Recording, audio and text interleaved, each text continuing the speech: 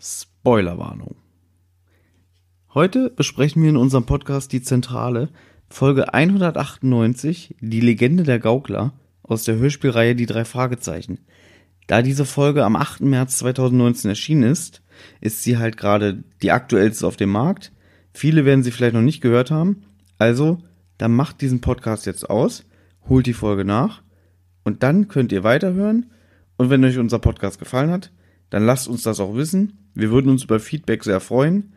Da gerne an Twitter oder über Instagram oder über unsere Facebook-Seite. Alles klar, ich wünsche euch viel Spaß.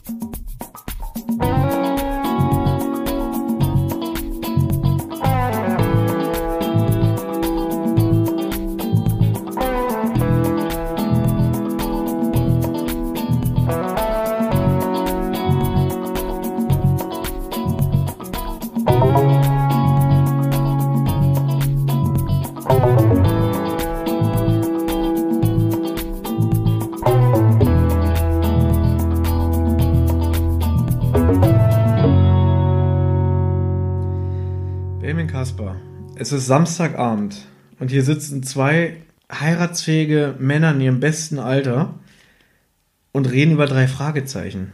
Was ist falsch? Also erstens ist falsch, lieber Thomas Freitag. Ja. Erstmal ist es falsch, dass ich nicht im Bett liege. Darauf wollte ich auch hinaus. Ich, ich habe mir hier eine Moderationskarte geschrieben, wie du siehst. Der zweite Stichpunkt, der hier ist, was tust du hier? Ihr müsst euch vorstellen, ich kenne Benjamin seit über 25 Jahren. Und dass ich ihn an einem Samstagabend um diese Uhrzeit, das ist jetzt kurz nach 10, hier bei mir zu Hause habe.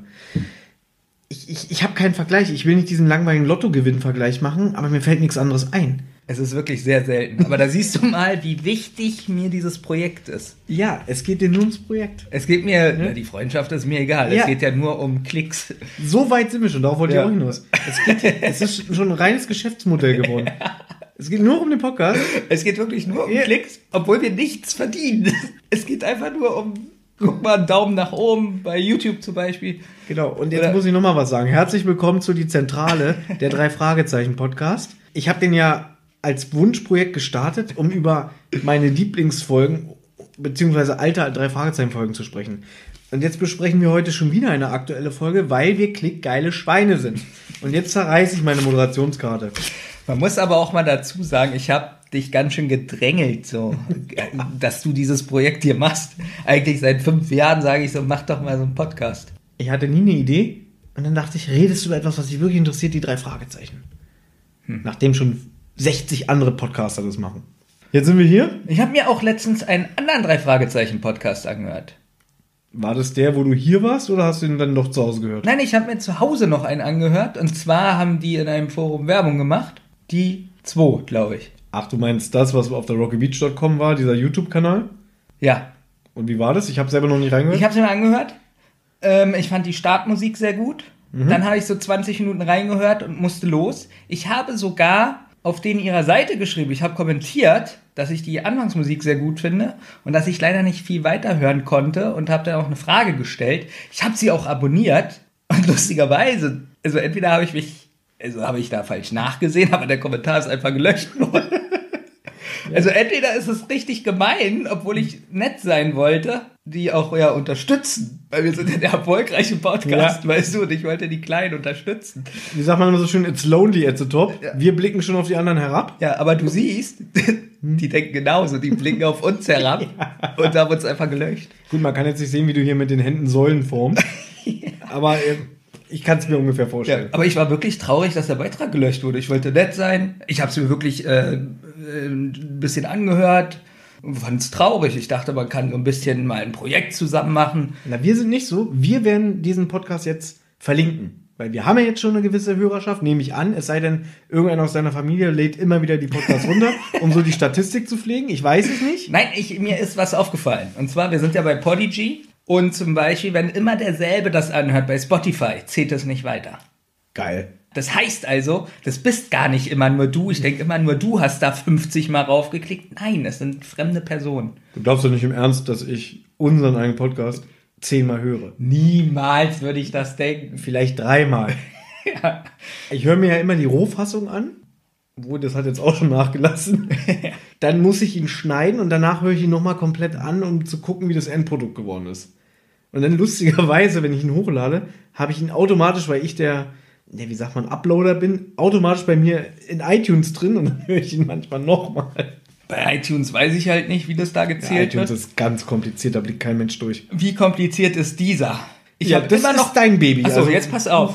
Pass auf. Dieser, also die Zentrale gibt es auf dieser und wir haben ja noch ein Nebenprojekt, Rotz und Wasser. Und schon bei die Zentrale war das so. Ich habe das hochgeladen und nie eine Antwort bekommen. Nie eine E-Mail. Nie eine E-Mail, ob das veröffentlicht ist.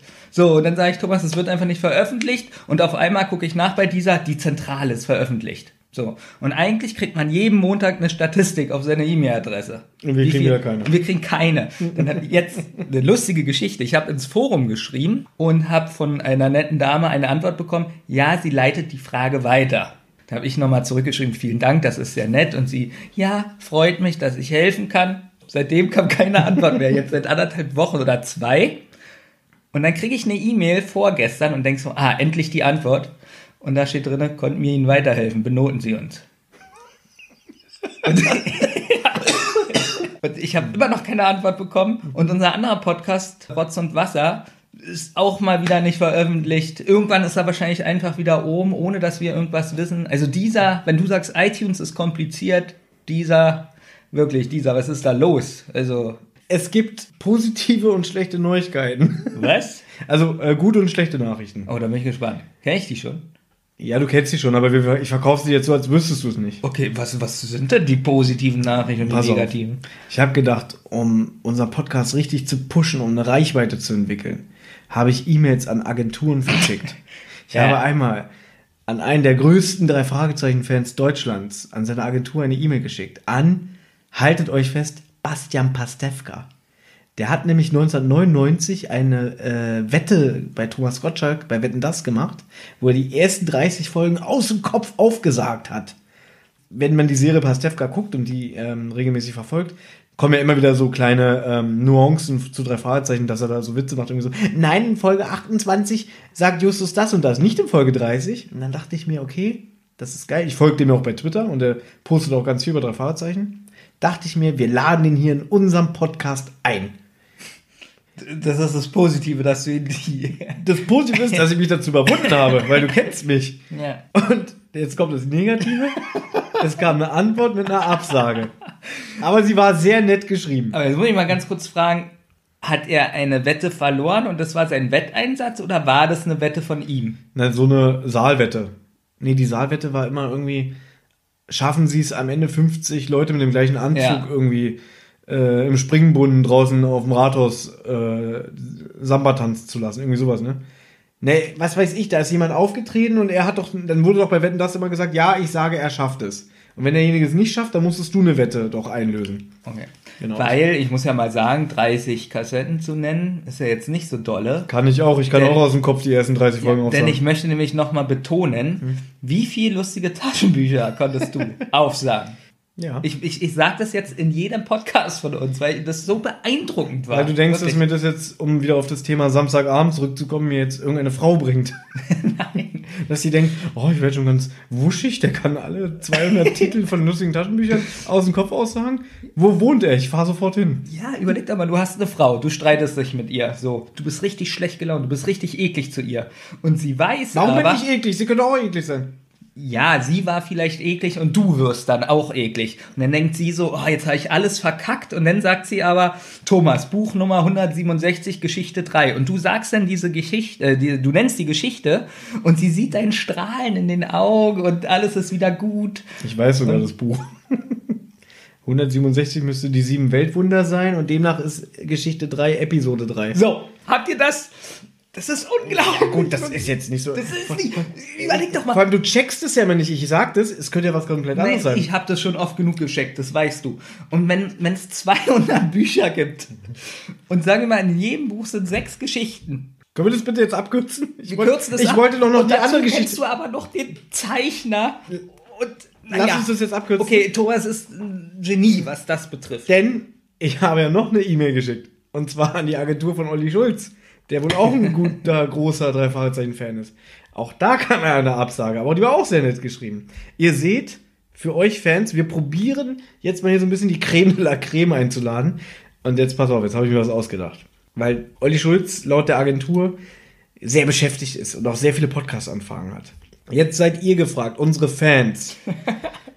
ihr müsst jetzt auf allen sozialen Kanälen Olli Schulz anschreiben, von diesem Podcast vorschwärmen, erzählen, ey, die Jungs von der Zentrale, die hätten dich mal voll gerne als Gast und wenn du dabei wärst, das wäre ja der Shit. Das wäre großartig, lieber Olli, wenn du dabei wärst. Schreibt ihm, er soll in diesem Podcast auftreten. Und dann können wir ihn irgendwann hier als Gast begrüßen, wenn ihr alle dabei seid und schreibt Olli, Olli. Ja, über Skype denn. Meinst du, meinst du, ich lass den hier rein? Du kennst meine Wohnung. ja, aber du musst doch auch mal authentisch sein. In diesem Also, Wohnzimmer gibt es Ja. eine Couch, einen Tisch und zwei Stühle, auf denen wir sitzen. na okay, was, was Wo soll du- er sitzen? Okay, jetzt mal ganz ehrlich, was, was soll er denn hier sonst machen in der Wohnung? Na, Denkst du jetzt, er hat Lust, sich eine Wohnung anzuschauen? Erstmal ist die Vorstellung witzig, er kommt hierher zu mir. Und dann müsste ich sagen, Olli, nicht in die Küche gehen, ist nicht abgewaschen. dann müsste ich sagen, weil nicht abgewaschen ist, habe ich kein Glas, was ich ihm anbieten kann. Das heißt, er müsste aus dem Becher trinken und nur Leitungswasser. und das dritte, weil wir beide schon auf diesen Stühlen sitzen, müsste er sich hier in die Mitte neben uns hinhocken. Das ist aber auch nicht so, dass wir jetzt vom Stuhl runtergehen würden, sondern, ich stehe auf. sondern er muss sich hinhocken. Und dann müsste er immer, weil wir nur ein Mikrofon haben, müsste er immer ein bisschen näher mit dem Kopf ran. Und er muss aber auch wieder mit dem Kopf zurück, weil wir wollen ja aussprechen. Richtig. Und das nervt, wenn sein Kopf hier so halb vom Mikrofon ist. Und das, liebe Ja. Fans, müsst ihr Olli Schulz schreiben, dann kommt er ganz bestimmt. Genau, ihr, ihr schneidet das jetzt raus, diesen Abschnitt, und schickt ihm das. Hat er richtig Lust, Genau. näher zu kommen. Der kommt bestimmt mit der Gitarre und macht einen zentrales Song. Und Ende des Jahres sind wir dann bei iTunes äh, neu und beachtenswert. Du hast aber auch Oliver Rohrbeck geschrieben. Stimmt, ich habe auch ähm, dem Management oder der Agentur von Oliver Rohrbeck geschrieben, denn wir müssen auch mal ein bisschen über drei Fragezeichen selbst erzählen. Es nähert sich ja dieses Jahr Folge 200. Und dazu gibt es eine Record Release Party, wofür es schon keine Karten mehr gibt. Sie ist ausverkauft. Gut, können wir nicht mehr hin. Verstehe ich nicht. Jetzt kommt wieder mein Einwand, du bist doch der größte Fan. Neben, neben Pastewka. Aber ich habe dir doch erzählt, ich war schon mal bei einer Record Release Party 2008 zur Folge und du 125 und sie ging vier Stunden, weil es eine Dreifachfolge war. Und drei Stunden davon saßen wir nur rum und haben das Hörspiel gehört und wir sind fast eingeschlafen. Sie ging sogar fünf Stunden, glaube ich. Wenn du, stell dir vor, du sitzt in einem Raum mit 50 Leuten, die du nicht kennst und hörst ein Hörspiel und keiner redet und das Hörspiel ist jetzt nicht mal so gut. Also du wärst als erster eingeschlafen. Jetzt musst du dir vorstellen, in der Mitte saßen Oliver Rohrbeck, an äh, Jens Wawritschek und Andreas Fröhlich, die Ja. drei Sprecher, die waren auch da. Wobei stimmt nicht, Andreas Fröhlich kam erst sehr spät, der hatte vorher noch einen Job, haben die auch angesagt. Die Hörer können es leider nicht hören, dann sitzt der Oliver Rohrbeck so da und hört so die ganze Zeit konzentriert zu. Und du sitzt da so und denkst so, ah, das ist aber ein toller Abend. Also er hat sich so, so, also er hat so schräg nach oben geguckt und sich das Hörspiel angehört. Konzentriert hat er sich das Hörspiel auch angehört und die moderieren ja auch am Anfang und da hat er so gesagt, ja, wir haben es auch noch nicht gehört, das ist heute auch für uns eine Premiere. Ich glaube auch, die hören das nicht mehr nach, nach 200 Folgen, die nehmen das auf und hören sich doch nicht das eigene Hörspiel an. Das sind professionelle Schauspieler. Meinst du, die haben die Zeit? Meinst du, der kommt nach Hause und sagt, so, jetzt hörst du mir nochmal an? Na, vielleicht mit seinem Sohn zusammen. Hat er einen Sohn? Haben die Kinder? Kannst du ja mal was rauslassen? Oliver Rohrbeck hat zwei Töchter, soweit ich weiß. Ja. Und bei dem anderen, bei dem Jens Wawritschek, weiß ich es nicht. Und der Andreas Fröhlich hat eine Tochter zusammen mit der Synchronsprecherin von Kim Possible. Diese Disney-Serie Kim Possible, die es mal gab. Okay, nee. Und wer war Andreas Elzholz? Ach, das wollte ich noch berichtigen. Ich habe doch letztes Mal, wo wir über Arne Elsholz gesprochen haben, Ja. habe ich doch erzählt, mein ehemaliger Zahnarzt hieß Elsholz. Der hieß gar nicht Elsholz, der hieß Holz. Zum Glück hast du das jetzt berichtigt. Der hieß Andreas Holz. Und es war immer der Running Gag bei mir und meiner Schwester, ah, ich gehe zu Andreas Elsholz. Wollte ich noch mal im Podcast hier richtig stellen. Genau, nicht, dass die Zahnarzt-Fans sich bei dir beschweren. Finde ich gut, dass du das hier klargestellt hast. Ich würde sagen, wir fangen jetzt an. Ja. Wir besprechen heute. Jetzt, Oh. wir, ganz kurz, ich habe ja schon ganz oft gehört, dass die Leute sagen, ah, jetzt, ab jetzt wird's langweilig. Stimmt, eigentlich die erste halbe Stunde ist immer am besten. Ist mir auch aufgefallen. Ab jetzt wird's wieder langweilig, wir reden über die Folge. Verstehe ich gar nicht. Doch, irgendwo hatte ich das auch gelesen. Irgendwie super, die ersten Ich hab das 20 schon ganz Minuten. Und dann, und dann macht ihr Zähne für Zähne die Folge. Wir müssen das irgendwann, glaube ich, auch mal ändern, dass wir vielleicht nicht immer komplett das Hörspiel durchkaspern, sondern so ein bisschen das Tempo anziehen.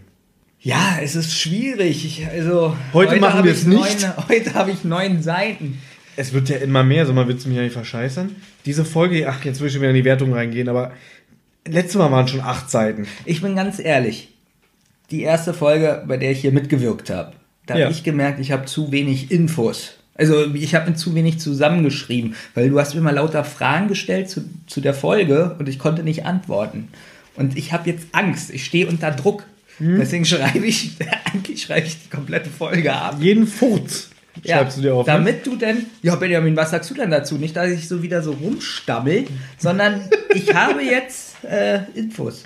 Ja, aber das ist ja das Schöne bei dem Podcast, man hat ja natürlich auch so einen eigenen Anspruch, man will ja besser werden. Das, Aber ich glaube, es wird auch langweiliger. nö, ich finde, wir sind ja so charismatische Typen, wir, wir rocken das Ding. Eigentlich schon. Ich finde, wir machen mal gute Gags dazwischen. Genau. Und weil wir klickgeile Schweine sind, wie wir schon gesagt haben, wir haben ja letzte Mal Folge 197 im Auge des Sturms besprochen. Das ist bei Spotify, das ist durch die Decke gegangen. durch die Decke, weil es die aktuellste Folge war und die Leute das hören wollten. Und da haben wir uns gedacht, warte mal, jetzt ist ja gerade 198 erschienen. Die Legende der Gaukler. Und deswegen besprechen wir die heute und hauen die so schnell wie möglich raus. Ich habe ja schon mit Olli eine neue Folge aufgenommen. Die schmeiße ich jetzt weg, damit wir diese Folge raushauen für die Klicks. Oh Gott, die Leute glauben das wirklich. Da finde ich gut, dass sie es glauben. Nein, die Folge mit Olli kommt dann nächste Mal.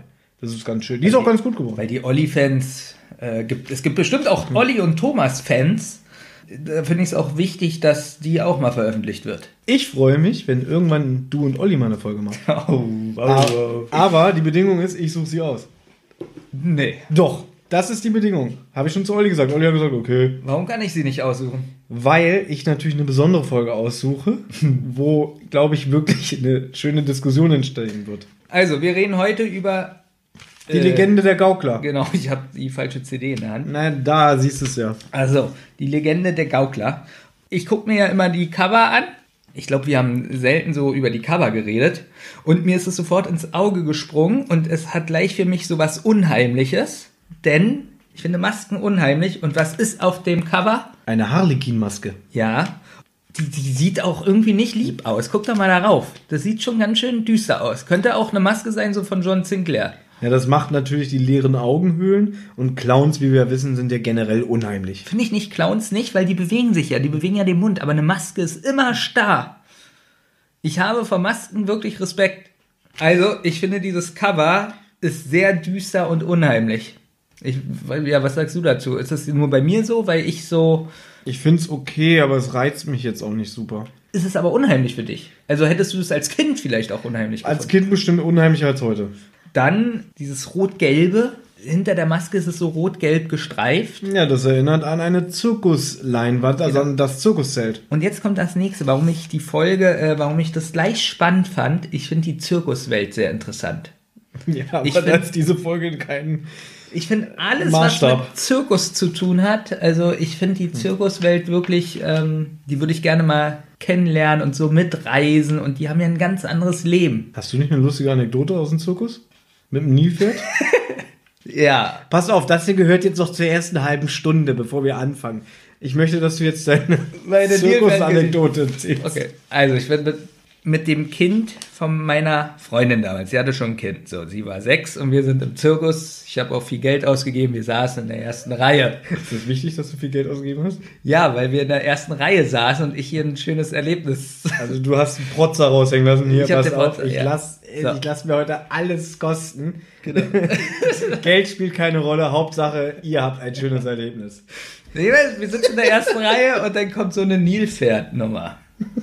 Was ist denn eine Nilpferdnummer? Ne, da kam, da kam ein Nilpferd rein. An der Leine mit wahrscheinlich. An der Leine. Der Trainerin? An der Leine mit der Trainerin oder Trainer, das weiß Wie ich hieß nicht das mehr. Nilpferd? Das weiß ich nicht mehr. Schade. So, und jetzt müsst ihr euch vorstellen, das Nilpferd läuft so um Kreis und bleibt mit dem Hintern vor uns stehen. So, was ja nicht schlimm ist erstmal. So, aber jetzt müsst ihr euch vorstellen, das Nilpferd hat seinen Schwanz gedreht, so wie so ein Propeller, so ganz schnell. Und das Heu auf dem Boden ist so rumgeflogen und gleichzeitig fängt das Nilpferd an zu pissen. So, und die ganze Pisse fliegt in mein Gesicht und in den Gesicht von der Tochter. Und dazu das Heu. Und wir waren komplett voller Pisse, aber wirklich so richtig nass und komplett voller Heu. Hast du nicht angefangen zu lachen?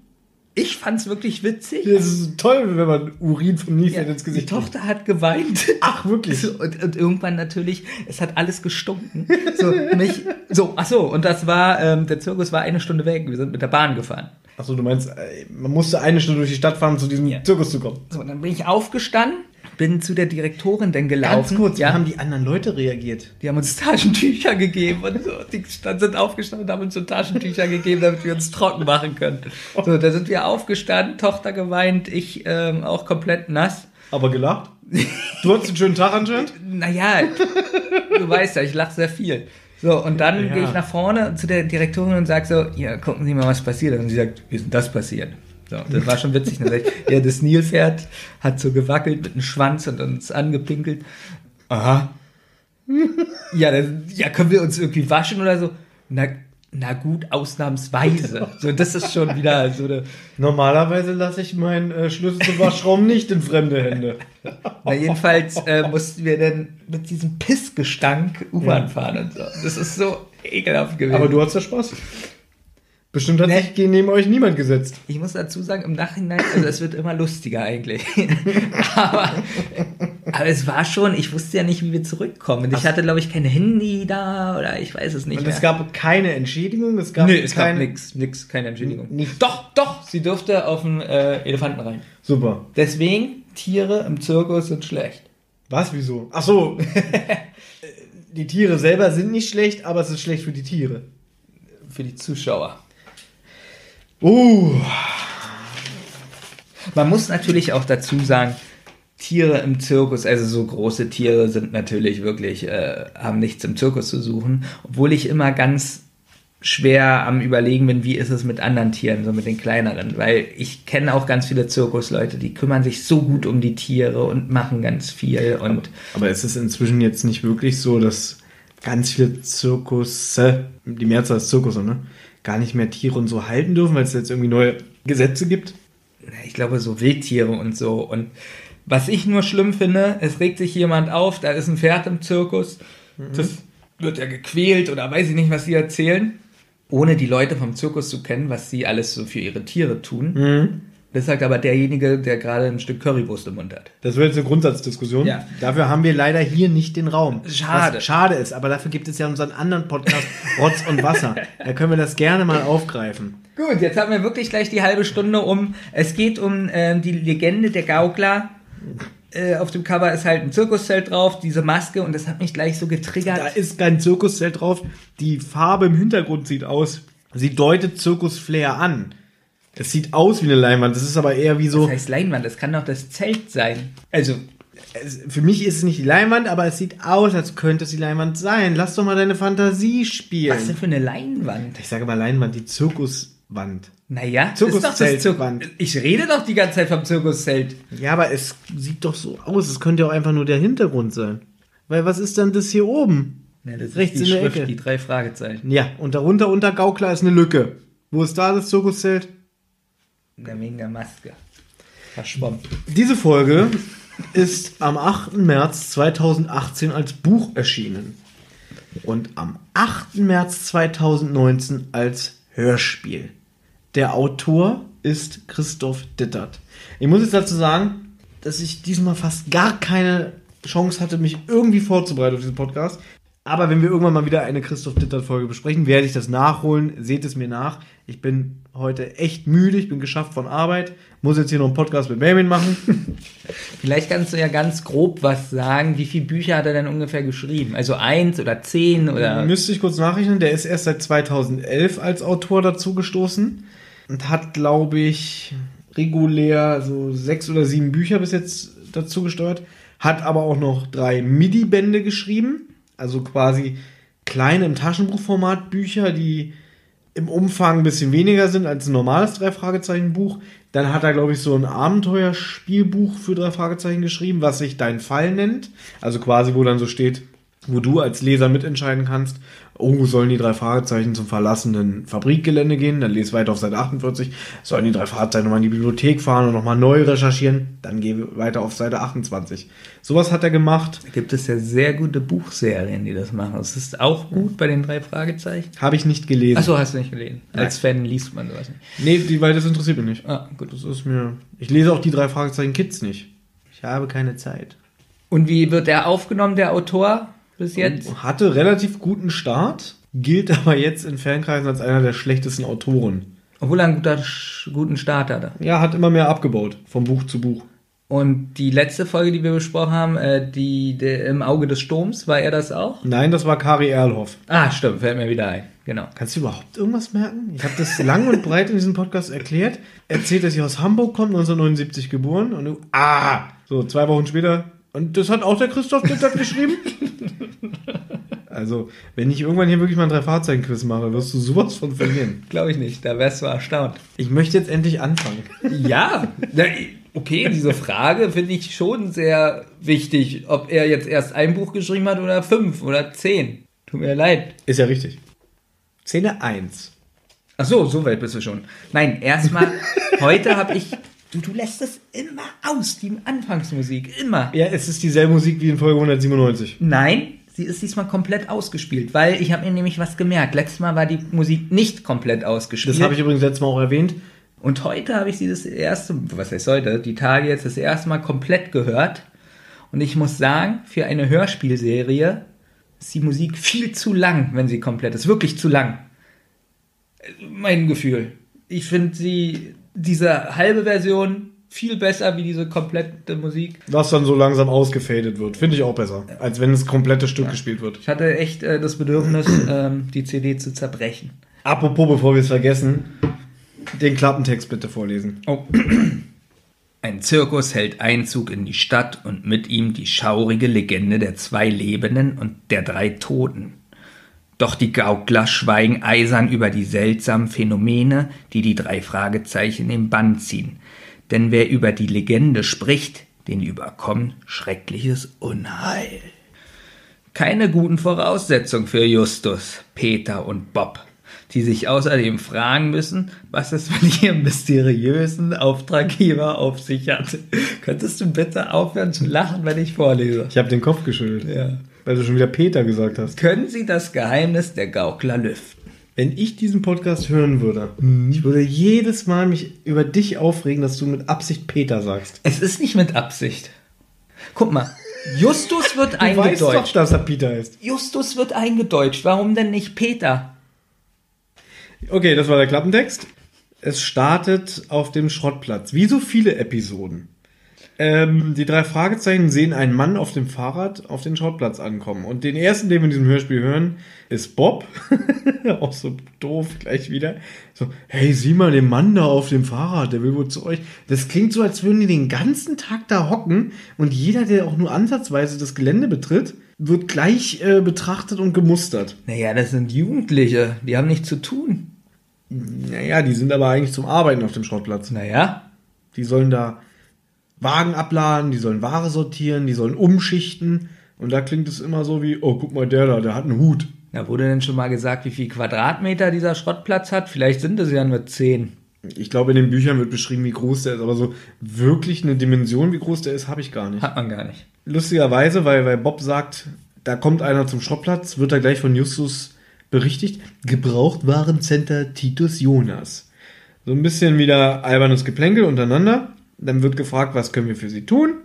Und der Typ stellt sich als Elliot Littlehorn vor und sagt, ich spiele, ihr sollt mir helfen zu gewinnen. Da Ja. habe ich mich gefragt, auch wenn ich das jetzt wieder vorgreife, ob das so ein bisschen doppeldeutig ist, dass er spielt. Weil am Ende äh, des Hörspiels kommt ja was raus. Ich greife jetzt sehr vor. Und da habe ich gedacht, vielleicht ist das sein Spiel, die Detektive zu gewinnen. Aber egal, übernimm du mal. Könnte sein. Es ist mir sofort aufgefallen, ähm, diese äh, markante Stimme ist mir sofort aufgefallen, denn es ist die Stimme von SpongeBob, von äh, Howard the Duck, Steve Urkel und so weiter. Aber du weißt nicht, wie er heißt. Patrick, nee. Also die Zeit für die Recherche hattest du wieder nicht. Na, dafür bist du ja da. Santiago Ziesma. Aber ich habe mir schon ganz viele Interviews mit ihm angesehen. Der kommt gar nicht so lustig rüber in den Interviews, weil ich finde immer, das ist so ein humorvoller. Also man denkt eigentlich, er ist ein Schwamm. Wusst- Ganz kurz, wusstest Ja. du, dass der übrigens auch mal eine Rolle hatte in Der Frauenknast auf RTL hinter Gittern? Nee. Das habe ich damals sogar gesehen, das muss so Ende der 90er gewesen sein. Und ich glaube, da war er ganz fett. Also in den Interviews, die ich gesehen habe, war er eigentlich relativ schlank. Ja, ist er ja auch. Und ich glaube, aber ich, also es ist schon ewig her, ich habe ihn aber als ganz fett in Erinnerung in der Rolle. Vielleicht war er früher ein bisschen. Der, also in den Interviews hat er, glaube ich, immer so eine Mütze auf. Ja, so eine Basketmütze oder wie Genau, man sagt, genau. ne? Ich fand, der war ziemlich ernst und Ich habe gerade ein Problem. Ja. Die Folge, die wir jetzt gerade aufnehmen, ja, erscheint ja jetzt nach Folge 197, die wir besprochen haben. Richtig. Lustigerweise habe ich aber vorher jetzt gerade eine Folge mit Olli aufgenommen, die Folge 147, Grusel auf Campbell Castle. Weil wir aber klickgeile Schweine sind, wird diese Folge vorgezogen. Hast du doch gar nicht erzählt. Nee, oder? Das wird auch der Untertitel von. Das haben wir jetzt schon mal besprochen. Und das Witzige ist, in der Folge mit Olli spricht Santiago Ziesma auch mit. Deswegen fand ich das so witzig. Ich höre diese Folge zum ersten Mal und denke, da ist der ja schon wieder. Der hat in, insgesamt vier Auftritte in der ganzen drei Fragezeichen-Serie in 40 Jahren. Du bist genau diese Folge. Ja, und ich habe letzte Mal schon, als Olli hier war, meine Santiago Ziesma-Anekdote erzählt. Aber wenn ich sie jetzt wieder erzähle, habe ich das ja zweimal im Podcast drin. Soll ich das jetzt rausschneiden bei Grusel auf Campbell Castle oder drin lassen? Weißt du, was du jetzt machst?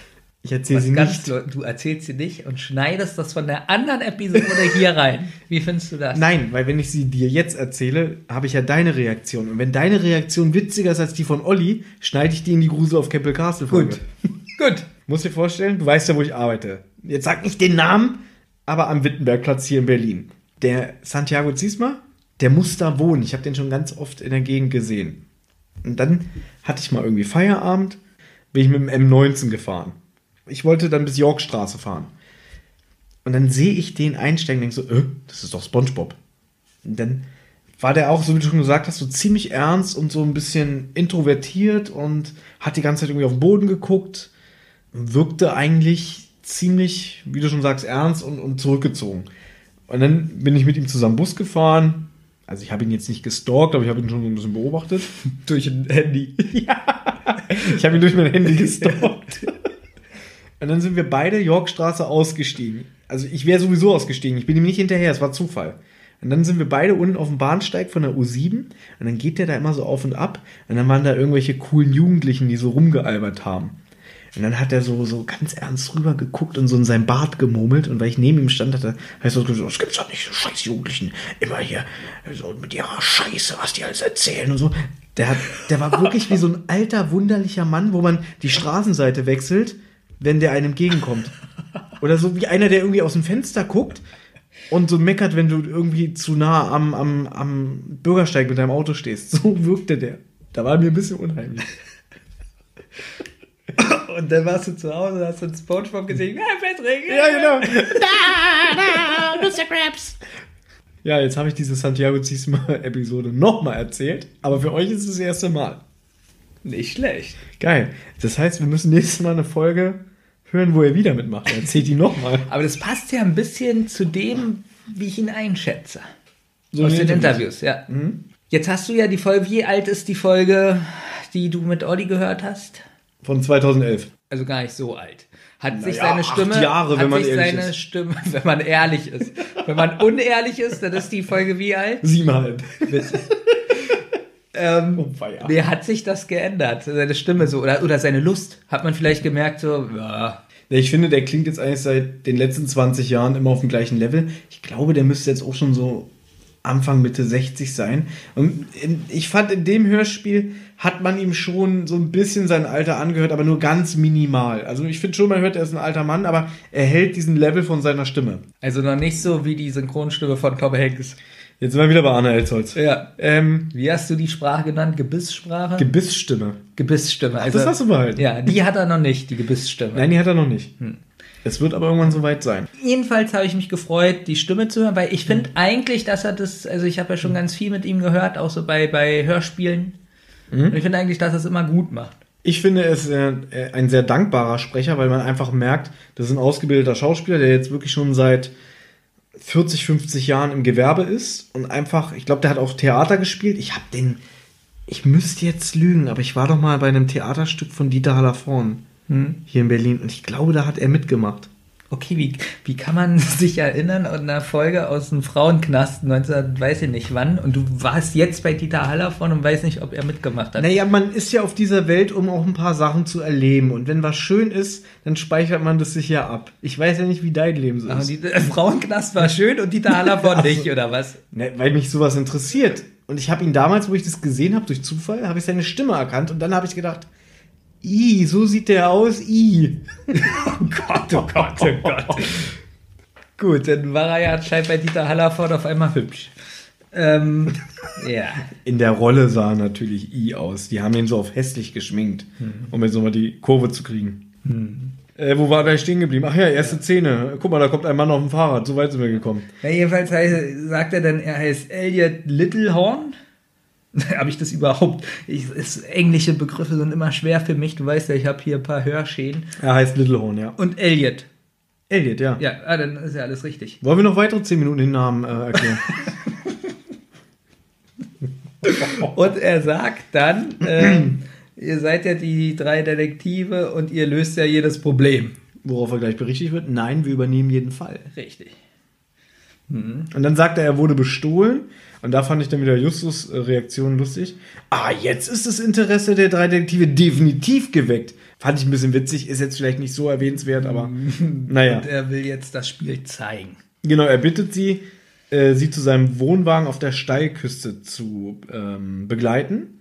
Und dann kam, weil du ja immer meckerst, habe ich mir das extra notiert, in meinen Augen ein bisschen komische Musik als Übergang. Erstmal möchte ich noch kurz sagen, dass ich die Geräusche im Hintergrund gut fand. Da sind so lauter so Bauarbeitergeräusche, habe ich so aufgeschrieben, und so Sägegeräusche und Vögel, weil ich ja letztes Mal kritisiert habe, dass die Stellen ganz oft so steril wirken. Das hatte ich da gar nicht. Ich hatte wirklich das Gefühl, die sind so auf dem Schrottplatz. Das ist aber diese typische Sound, Soundkulisse vom Schrottplatz. Finde ich gut. Da ist immer irgendeine Kreissäge, die im Hintergrund äh, grölt und halt so, als wenn einer mit einem Vorschlaghammer äh, Steine zerkleinert. Das ist diese typische Atmosphäre, die auf dem Schrottplatz herrscht. Vielleicht hatten wir bis jetzt wenig Folgen, die auf dem Schrottplatz spielen. Deswegen kennst du das noch nicht so. Ja, aber ich finde es trotzdem gut. Finde ich auch in Zukunft wahrscheinlich gut. Für mich als alten Hasen ist es natürlich, ich will es jetzt nicht abwerten, aber ich nehme das nicht mehr so wahr, weil es für mich die gewohnte Soundkulisse ist. Ich, es ist immer noch gut, aber nach 200 Folgen schaltest du irgendwann ab. Ja, die Musik, das ist so eine Musik, das sind Frauenstimmen, Ja. die einmal sagen die auch was, was ich nicht verstehe. Ach, die sagen was? Ich Irgendein habe Wort. nur irgendwie so, ha, ha, ha. Genau, das ist. Und das ist so- einmal sagen die irgendein Wort. Das habe ich nicht rausgehört. Und ich, da wollte ich dich nämlich fragen, ist das was Uraltes? Ist das neu aufgenommen? Kam das schon mal vor? Es kann sein, dass es mal in irgendeinem Hörspiel im Hintergrund gedudelt wurde. Ich kann mich aber nicht dran erinnern, aber auf jeden Fall gehört es eher zur Neuzeit. Also so irgendwie in den letzten 10, 15 Jahren wahrscheinlich entstanden. Das ist wirklich witzig, weil in der 197 kommt kurz mal Techno-Musik vor und so und auf einmal kommt hier so die Frauenstimme. Was mir aber aufgefallen ist, Ja. ich finde dieses Hörspiel sehr arm, was Musikuntermalung angeht. Also es gibt dieses Stück, was da kommt, kommt dann noch, wird noch zweimal eingesetzt, so als Leitmotiv, so für die ersten drei Szenen. Dann kommt es aber auch nicht mehr. Ja, dann ist irgendwann wieder ein Stimmungswechsel im Laufe des Hörspiels, aber ich fand die ganze Folge sehr arm, was Musik anging. Fand ich aber nicht schlimm. Ich fand, das hat die Atmosphäre teilweise unterstützt. Hm, Da kommen wir aber später nochmal drauf zurück. Genau, jetzt ähm, setzt der Erzähler ein, nach dieser komischen Musik, dass sie die flache Hochebene erreichen, auf der der Wohnwagen steht. Und der wird dann beschrieben, dass irgendwie die ganze Rückseite, die zur Küste hingewandt ist, mit einem nächtlichen Sternhimmel angepinselt ist. Wie schön du das gerade aufgeschmückt hast. So hast du das aufgeschrieben. So der Unterschied, wie du was aufschreibst und wie ich was Wie aufschreibe. man es wahrnimmt. Ähm, komplett schwarz mit Punkten. So habe ich das das war aufgeschrieben. ein nächtlicher Sternhimmel. Ja, Das hat, spielt ja noch eine Rolle gleich. ja, aber ich habe es so beschrieben. Komplett schwarz mit Punkten. Weißt du, was mich gerade ein bisschen erschreckt? Im Laufe, Laufe meiner Notizen ist meine Schrift immer schlimmer geworden. Ich habe jetzt schon Probleme zu lesen. Littlehorn holt dann eine Kiste und eine Leinwand aus seinem Wohnwagen, wo ihm dann die drei Detektive noch unterstützen und wieder mit viel Gestöhn und Geächt so, oh, so schwer, haben sie da Steine drin, oh! Ähm, und dann entschuldigt er sich, er wird den Jungs jetzt eine abgespeckte Version seiner Vorstellung zeigen. Genau, sie sollen sich vorstellen, einfach, äh, sie sind jetzt im Zelt und alles ist so schön geschmückt und nicht nur diese Rückwand. Ja, genau, dann spielt nämlich diese, ähm, dieser nächtliche Sternhimmel eine Rolle. Und dann holt er einen Beamer und einen Laptop aus der Kiste, dann stellt er die Leinwand auf und dazu noch einen Klapptisch und dann. Ja, davor sagt er noch, was ich äh, wichtig finde für diese Folge, das erste Mal, dass er ein Gaukler ist. Das habe ich auch aufgeschrieben, habe ich jetzt übergangen, weil er das Wort Gaukler sehr schön findet. Also er findet es toll, sich selbst so zu bezeichnen. Reisender Fahrer oder wie man die alle nennt, ähm, Artist, beschreibt es nicht so gut wie Gaukler. Genau. Und auf der Leinwand dann äh, wird dann was projiziert. Projiziert. Projiziert. Oh Gott. Du bist ja schon wie Olli. Ich kann das nicht aussprechen, das Wort. Projet, Projiziert. projiziert. Ja, so wie Projektor, aber projiziert. Ich sage einfach projiziert. Auch wenn es falsch ist. Es wird auf die Leinwand was geworfen. Sehr schön. Ein Bild. Und oben rechts ist die Sonne Mhm. und unten links ist die Erde. Ich ahne schon, das wird hier heute wieder so ein Drei-Stunden-Ding. Und die Sonne ist so ein bisschen animiert und leuchtet bedrohlich. Richtig. Und jetzt holt er nämlich sein Hütchenspiel aus der Kiste und quasi lässt immer einen Kirschkern unter einem von drei Bechern verschwinden. Und dann funktioniert das quasi so, die Jungs sollen sich darauf konzentrieren und jedes Mal, wenn sie eine falsche Antwort geben, unter welchem Becher sich der Kirschkern befindet, dann rückt irgendwie die Sonne näher an die Erde. Er nennt das irgendwie Sturz in die Sonne. Und davor begrüßt er die Leute. Er fängt dann an mit seiner normalen Genau, Vorstellung. so. Also, Ah, hallo Damen und Herren. Das sind ja nur Herren anwesend. Ja. Und genau das sind die Situationen, die ich mag, die du nicht magst. Wieder nämlich die drei Detektive so. Haha, das äh, ist ja nicht so. Das konntest du aber schon mal besser, komm. Du meinst so dieses so, hm, schwierig. Also ich sag mal der in der Mitte. Nein, nein, nein, links. Ja, das würde ich auch sagen. Nee, nee, hör mal auf, hör mal auf. Es ist der in der Mitte. Nein, ich habe gesagt. So dieses, dieses, oh, ich kann das gar nicht beschreiben, Und was mir es ist dafür gibt. aufgefallen, ich höre ja jetzt erst die sechste Folge oder so. Und das ist das, was ich liebe bei diesem Hörspiel. Dieses kindliche, äh, geschauspielerte, hm, ja, hm, ja, das ist, ja, nee, das kann nicht sein. Und für mich, für mich wirkt es immer so erzwungen. ich liebe Für es. mich ist das nicht, ich sage das öfter an dieser Stelle, homogen. Es hat kein äh, Realismus. Das ist so, weil es im Skript steht. Genau das ist der Realismus bei mir. Dass sie so dazwischen reden und so nuscheln so ein Ich bisschen. habe so das und Gefühl, die gucken sich dann an. 55 Jahre alte Männer gucken sich an, dann so, naja, wie würde denn so ein 16-Jähriger jetzt reagieren? Hm, ja, hm, oh, mach mal so. Und, und oh, ja, hm. Keine aber, das, Ahnung. aber das ist so realistisch. Ich finde, nein, das wirkt mir immer zu gestellt. Hm, hm, hm. Ja, so reden wir doch aber nicht. Okay, wir sind doch keine 16. äh, um das jetzt mal wieder abzukürzen, ähm, der, der, der schwingt da doch irgendwelche Reden, der Little Horn. Hier löst das Rätsel, Milliarden von Menschen werden es euch danken. Und die Sonne rückt dann immer näher zur Erde und dann kommt so dieses wieder, ah, verstehe. Jedes Mal, wenn wir eine falsche Antwort geben und ha, das ist also ihre Vorstellung, genau. Und dann ist Justus wieder sehr nachdenklich und konfrontiert Little Horn damit, dass Hütchenspiel ja Trickbetrug sei. Ja, und er stellt dann klar, dass sie ihn bei illegalen Glücksspielen nicht unterstützen werden. Zu dem Zeitpunkt ist auch immer noch nicht klar, was der Typ eigentlich von denen will. Er hatte ja eingangs davon auch gesprochen, dass er bestohlen wurde. Und für mich an dieser Stelle muss ich sagen, das ist ja alles ganz nett gemacht. Aber ich habe das Gefühl, ich werde hingehalten. So, weil ich nicht weiß, worum es geht. Und hingehalten ist übrigens ein gutes Stichwort, was den weiteren Verlauf dieses Hörspiels angeht. Finde ich gut, dass sie hingehalten werden, weil das ist ja auch der Sinn des Hörspiels. Es ist mal was anderes. Ich habe Angst, in die Wertung zu gehen, aber wenn ich Du jetzt. sollst ja nicht in die Wertung. gehen. Ja, aber wenn ich will ja immer vorgreifen, Ja. aber wenn ich jetzt probiere, stringent mich hier dran zu halten, kann ich nicht meine Argumente bringen. Dann red ich einfach weiter Ja, und sage jetzt, dass Littlehorn sagt, was er macht, ist nicht illegal, sondern er verkauft es als Show. Hm? Und das ist genehmigt von Inspektor, wie heißt der? Koppel? Hoppel- Kotter. Kotter? Ja, witzig, er weiß auch den Namen nicht. Ja, aber weißt du, wann er das sagt? Da geht er erst drei Minuten später drauf ein. Dazwischen ist schon wieder ganz anderes Gelaber. Also er wird auf was angesprochen und dann, ah, ich sehe, du kennst dich aus und dann labern die anderen beiden noch was dazwischen und dann erklärt er das erst. Anstatt dass er gleich sagt, Moment mal, Junge, ich habe eine Lizenz und ich bin Kleinkünstler und ich darf hier sein. Er ist ein Gaukler, er spielt mit den Detektiven. Aber er sagt auch, Er macht dass sie er heiß. eine Lizenz zur Kleinkunst hat. Und genau so war es bei mir. Ich wurde immer heißer auf diesen Fall. das glaube ich nicht. Was will? Doch, wirklich. Hast du zu Hause gesessen und dann so wirklich so das Kinn in die Hand gestützt und dann so, oh, das ist ja interessant. Ich bin ganz ehrlich, ich habe auch wieder Amazon-Wertung gelesen und das war, glaube ich, die schlecht bewerteste Folge, die ich, Ich glaube, je das war auch gesehen die habe. schlechteste Entscheidung, das zu lesen. Und ich muss sagen, ich, es liegt daran, dass ich, glaube ich, die Zirkuswelt spannend finde, dass ich Gaukler spannend finde und ich fand spannend, was kommt da, was verheimlicht er, warum macht er das? Ich fand es wirklich spannend. Okay. Ich finde das spannend. Ich versuche das mal im Hinterkopf zu behalten. Gut. Jedenfalls spricht Bob ihn dann auch nochmal darauf an, was hat es mit dem Diebstahl auf sich?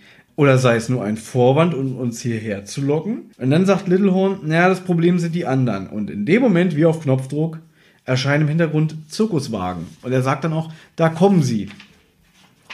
Hier habe ich dann erst die Notiz, dass er sagt, er hat eine Lizenz. Also entweder habe ich das nachträglich aufgeschrieben, ist ja auch egal.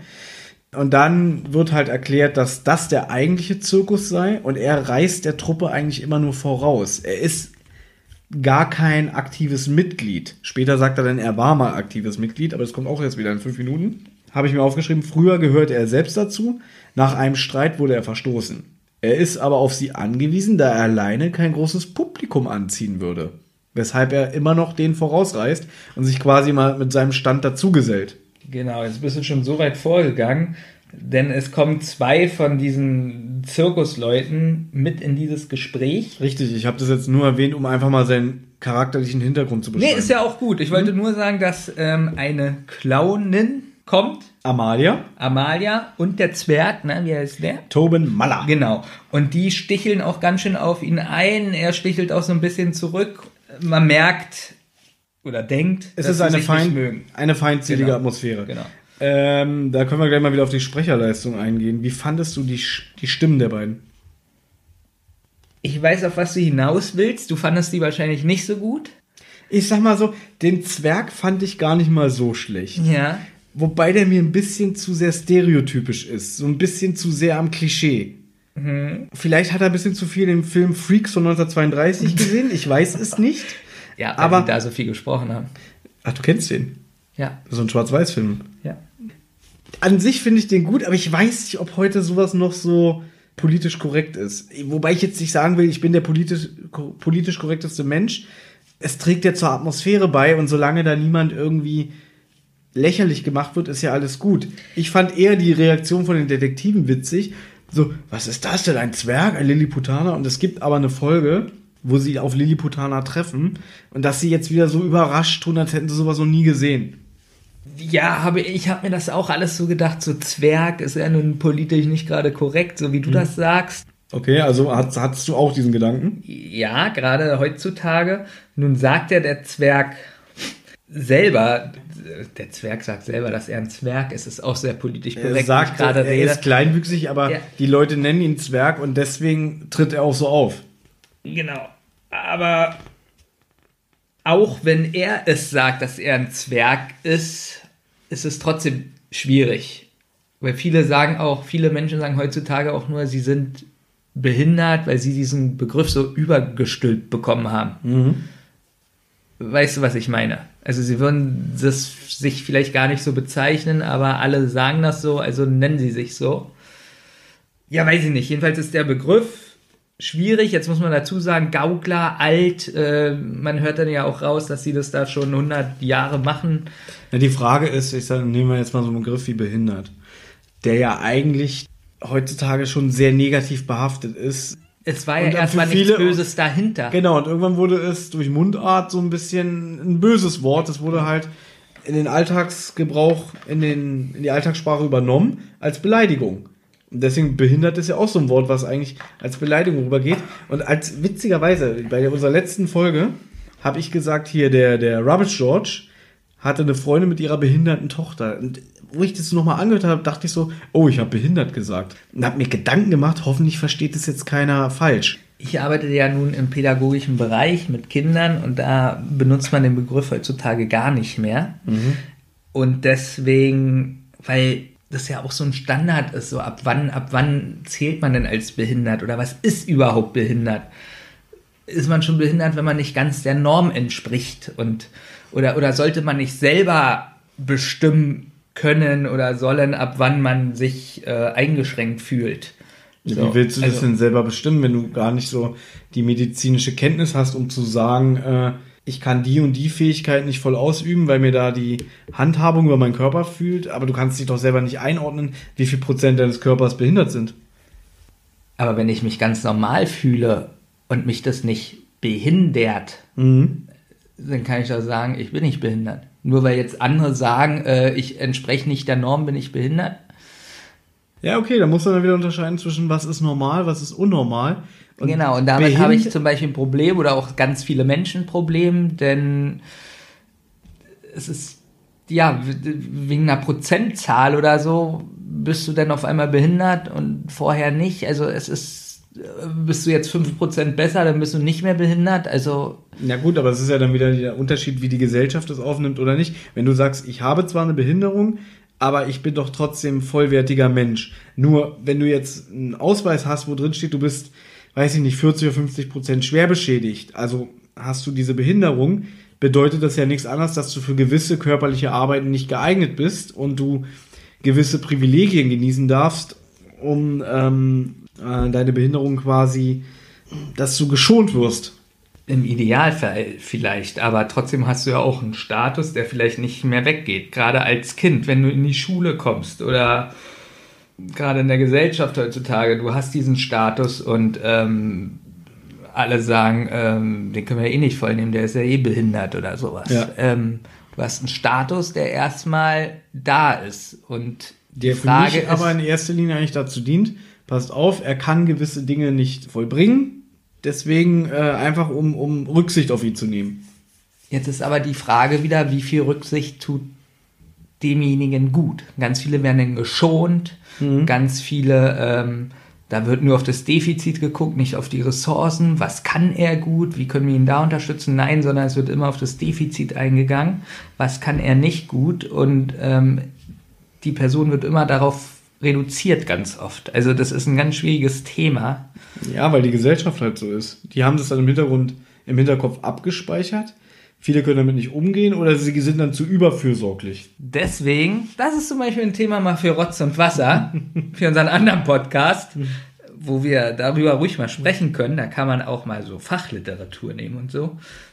Aber hier bei den drei Fragezeichen, ich glaube, das ufert jetzt ein bisschen sehr weit aus. Aber es ist doch schön, dass man die drei Fragezeichen uns äh, auf ein anderes Thema gebracht haben, wobei ich gar nicht so beim Hören selber so krass drüber nachgedacht habe. Aber schön, haben wir mal. Na, aber irgendwie hast du es ja auch gemerkt mit dem Zwerg, dass es ein bisschen merkwürdig ist oder was man heutzutage nicht mehr sagen würde. Aber was ich mich da frage, denke ich darüber nach, weil es mich interessiert von selber oder denke ich darüber nach, weil ich so im Hinterkopf abgespeichert habe, oh, das ist ja ein Tabuthema.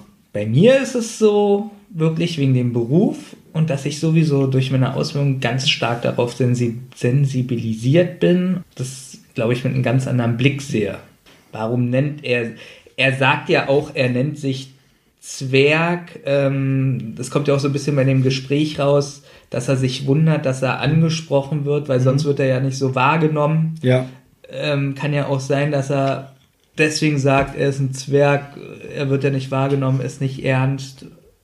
Jetzt dürfen wir natürlich nicht aus dem Kopf verlieren, im Kontext für die Handlung. Wir sind hier in einer Zirkuswelt mit Artisten und mit Leuten, die besondere Fähigkeiten und Begabung haben. Da passt das natürlich auch super rein. Auf der anderen Seite ist es natürlich ein Buch oder beziehungsweise ein Hörspiel für 8- bis 12-Jährige. Und wie werden die jetzt wieder an dieses Thema herangeführt? Ja, schlecht. Da ist ja keine Aufklärung. Man sagt nicht Lilliputada, man sagt Zwerg. So, Aber er sagt so mit Stolz, ja, ich bin Zwerg. Aber um jetzt wirklich mal ein bisschen zurückzukommen, da ist ja noch die Amalia, eine Clownin, wie sie noch betont, nachdem Peter sie falsch mit Clowness anspricht. Wusstest du, dass das die weibliche Form von Clown Clownin ist? Ganz oft habe ich schon, äh, ganz oft. Ja. Nee, aber des Öfteren schon darüber, Nachgedacht. also wie das eigentlich heißt, ja. Und glaube auch schon mal eine Diskussion gehabt. Eine Diskussion heißt es Clownin. Na, jedenfalls wolltest du wegen dieser Synchron Das war eigentlich die Ausgangsfrage, wie du die beiden Sprecher fandest. Ich muss sagen, im anderen Kontext würde ich sie schrecklich finden, aber dadurch, dass es halt so er sagt, er ist Zwerg und das alles so stereotypisch auch so dargestellt ist, passt es schon. Ich finde aber, würde sie so sprechen als normale Person, wäre das absolut schrecklich. Ich fand sie an sich schrecklich. Ich fand ihn gut. Für das, was er gemacht hat, passt es halt. Also man hat Ja. da genau ein Bild vor Augen. Sie fand ich jetzt nicht so gelungen. Und ich muss aber auch dazu sagen, es treten ja im Hörspiel, glaube ich, insgesamt drei oder vier Frauenstimmen auf. Und mir ist jetzt aufgefallen, die klingen alle sehr gleich von der Stimmfarbe Wirklich schon sehr ähnlich. wirken dafür auch wieder sehr austauschbar. Deswegen fand ich alle weiblichen Sprecher in dem Hörspiel nicht so gelungen, weil die sich nicht großartig unterschieden haben. Jetzt greife ich mal vor, bei der Auflösung zum Beispiel, wusste ich zuerst nicht, welche Frau das ist. Ich wusste es nicht. Genau. Ich habe es nicht von der Stimme her erkannt. Man konnte nicht sagen, ach, das ist die, weil die so prägnant oder Genau, einprägsam überhaupt nicht. war, Überhaupt sondern nicht. es war sie einfach, sie war so random, so beliebel. Ja. Sie wird ja darauf angesprochen, warum sie jetzt schon um diese Uhrzeit ihr Clown-Make-up oder beziehungsweise ihre Arbeitskleidung trägt. Was sie dann sagt, ja, warum denn nicht? Es macht Spaß. Da wollte ich dich aber fragen, irgendwie, trägt sie jetzt ihr Clown-Outfit nonstop? Also geht sie mit der Schminke ins Bett und steht damit wieder auf? Das hat sie so erzählt, ja. Du hast ja früher als Maler und Lackierer gearbeitet.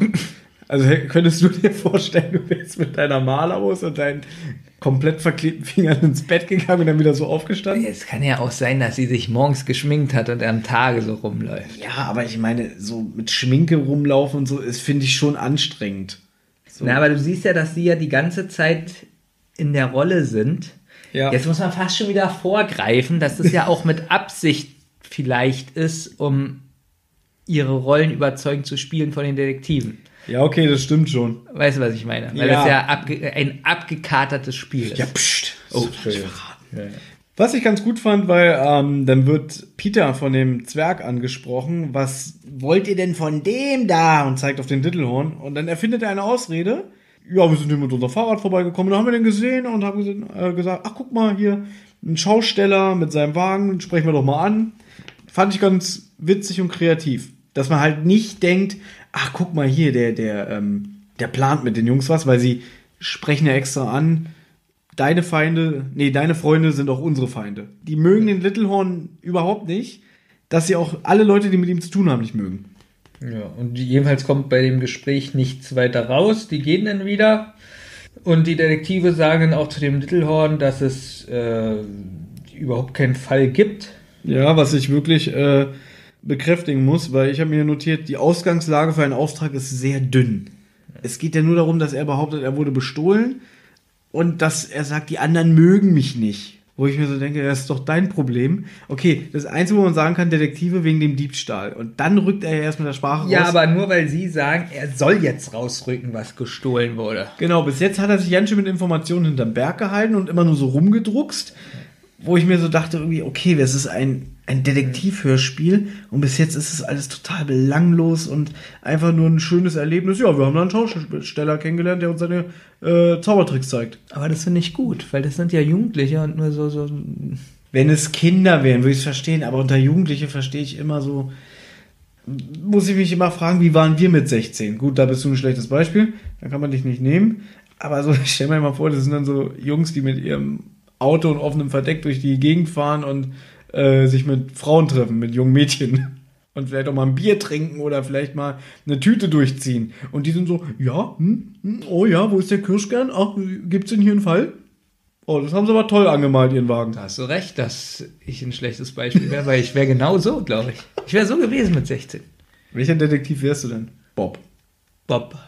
Der aggressive Nee, so Bob. eine Mischung aus Bob und Justus. Das hatten wir letztes Mal schon. Aber der neue aggressive Bob mit, dem, Natürlich. mit dem Arschloch Justus. Hier, ich muss sagen, hier war ich ein bisschen enttäuscht. In der Folge 197 ist er so aggressiv, der Bob. Da ist er mir so sympathisch, wirklich. Da kriegt er 10 von 10 Punkten von mir und hier kriegt Bob nur 2 von 10. ja, weil er hier wieder eine Schlaftablette ist. Na, aber was, ist denn das Aggressive? Die Folge gibt so wenig Aggressives her, aber da greife ich schon wieder vor. Justus ist dann wieder recht dreist, weil er dann sagt, also erstmal sagt er, ja, wir übernehmen jetzt den Fall, obwohl sie erstmal sagen, ist das ein Fall? Das ist doch kein Fall. Ist das ein Fall? Und Justus beschließt einfach, es ist ein Fall. Und dann sagt er, wir fragen jetzt mal die anderen Leute. Und die anderen beiden sagen auch so, wie willst du jetzt einfach ungefragt in die Wohnwagen gehen, die fragen? Er so, ja. Wo ich denke, wirkt mir zu unnatürlich, dass er jetzt sagt, wir ermitteln jetzt und wir drängen uns jetzt den Leuten auf. Du hast aber auch Infos raus, äh, ausgelassen. Dafür bist du ja da. Nämlich, dass 300 Dollar gestohlen wurden, sagt er. Und, äh, und zwar aus seiner Einnahmekasse. Da habe ich jetzt aber auch überlegt, wenn das seine Tageskasse ist, 300 Dollar. Ich meine, ich bin bei einem Lohn von 1,6 netto. Das hat, das hat er ja schon in einer Woche raus. Und dann jammert er so rum, ihm geht's so schlecht und er ist auf alles angewiesen. 300 Dollar pro Tag? Okay, es gibt bestimmt auch mal schlechte Tage. Aber 300 Dollar für einen Tagesumsatz ist schon eine ganze Menge. Okay, was braucht er denn? Kirschen? Ja, sogar sein Material ist billig. Naja, dann ist es so. Gut, der Beamer hat bestimmt Geld gekostet. Und der Wohnwagen, den man in Stand zu halten, kostet Die auch Geld. Animationseffekte von der Sonne. Ja, okay, die hat er einmal programmieren lassen, die hat er jetzt fertig. Da steht bestimmt noch irgendwie JavaScript 1999 oder so. Keine Ahnung. Jedenfalls wurden 300 Dollar geklaut aus seinen Tageseinnahmen. Und du hast recht, ich fand es auch relativ doof, wie Justus sagt, also der ja nun sehr schlau ist. Ja, wir, gehen einfach dahin und, wir gehen einfach dahin und fragen die Leute. Ja, fand ich auch. Und die anderen beiden sind immer so Hampelmänner und dann so, okay. Also da setzt sich keiner durch. Ja, das ist das Prinzip der Serie. Justus ist der Chef und Justus bestimmt. Nein, der Bob Ja. aus der Folge 197, der wäre ausgerastet. Der hätte ihm auch die Fresse gehauen. Ja, aber dieser Bob, wo, wo ist der gute Bob hin? Ja. Ist Bob nur.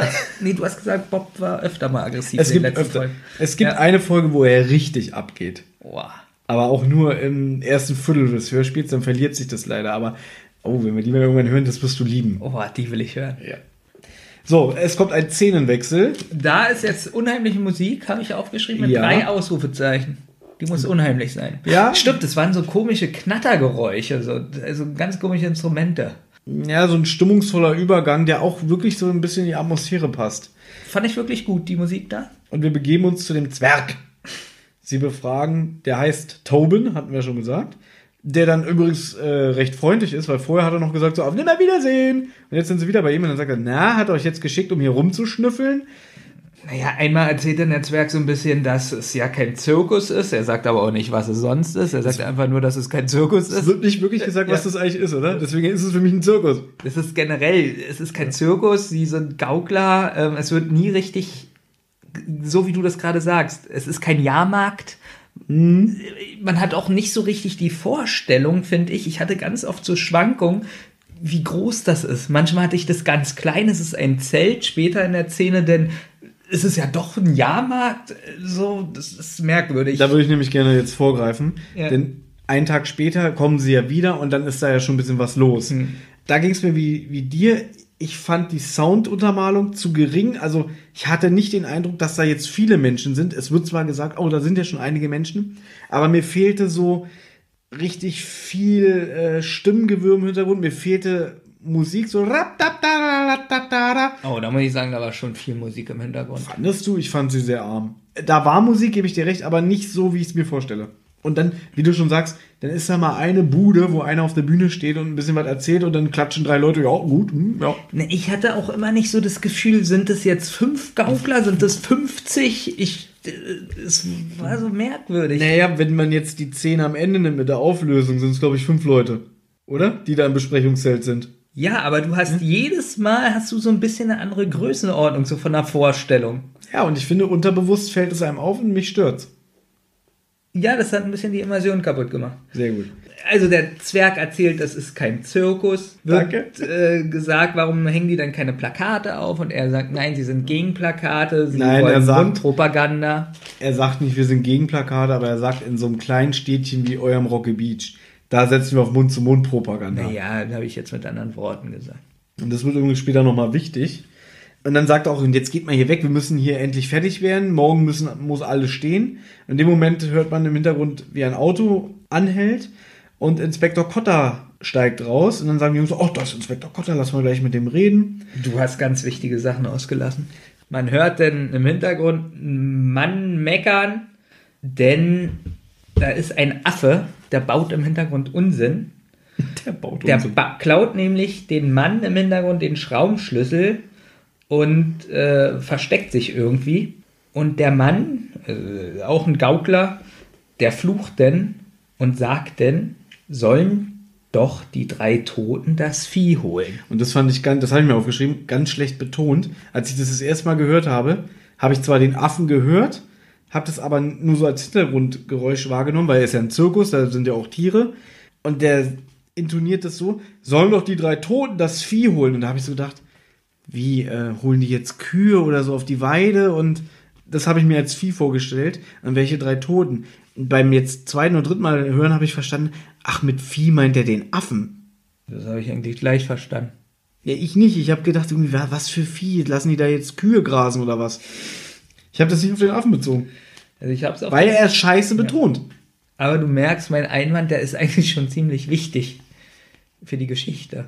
Ja, dass ich das gerade genannt habe. Ich habe es mir ja auch aufgeschrieben, ich Äh, habe es wieder nur übergangen. Also, jetzt kannst du weiter erzählen, dass der Inspektor dann kommt. Ja. Also da wird auch nichts zugesagt erstmal, sondern das ist nur so im Hintergrund. Ja, das, das wird erst am Ende der Szene aufgegriffen. Genau, genau. Ähm, was mir dann auch so ein bisschen aufgesetzt wirkt, aber egal. Sie unterhalten sich jedenfalls kurz mit Inspektor Cotter. Der ist da, weil er mal nach dem Rechten gucken will, denn er hat das Ganze bewilligt. Die haben natürlich einen Antrag gestellt bei der Polizei, dass sie sich da aufhalten dürfen. Und dann erzählt er auch, wie, die, wie das ganze Projekt heißt, nämlich der finstere Stern. Und das fragen auch die Detektive nach, hä, was soll das heißen? Und ich glaube, da kann er nicht mal wirklich Informationen zu geben. Genau, der sagt, sie sollen mal zum Direktor gehen und nachfragen. Genau, er ist wirklich nur da, um sich mal kurz ähm, von der Sache zu überzeugen und er steht dem Ganzen auch sehr skeptisch gegenüber äh, und verweist dann auf Mr. Mitchell, den Besitzer. Und dann kommt etwas, weil jetzt äh, beschließen die Detektive, naja, wir fahren jetzt erstmal wieder nach Hause, weil sie müssten nämlich noch die Eisenstangen von Onkel Titus vom Laster abladen. Und das war für mich ein Verweis auf eine andere Zirkusfolge. Naja, eine Zirkusfolge ist es nicht. Und zwar Folge 15, der rasende Löwe. Da kommen auch Eisenstangen vor, die eine wichtige Rolle spielen. Und weil er halt so Tiere und das in so einem Dschungelland spielt, habe ich gedacht, naja, würde er thematisch so ein bisschen passen. Weil Justus dann sagt, wir müssen zum Schrottplatz, sagt Bob dann so, um die Klammer jetzt vom Anfang zu schließen, äh, es heißt auch Gebrauchtwarencenter.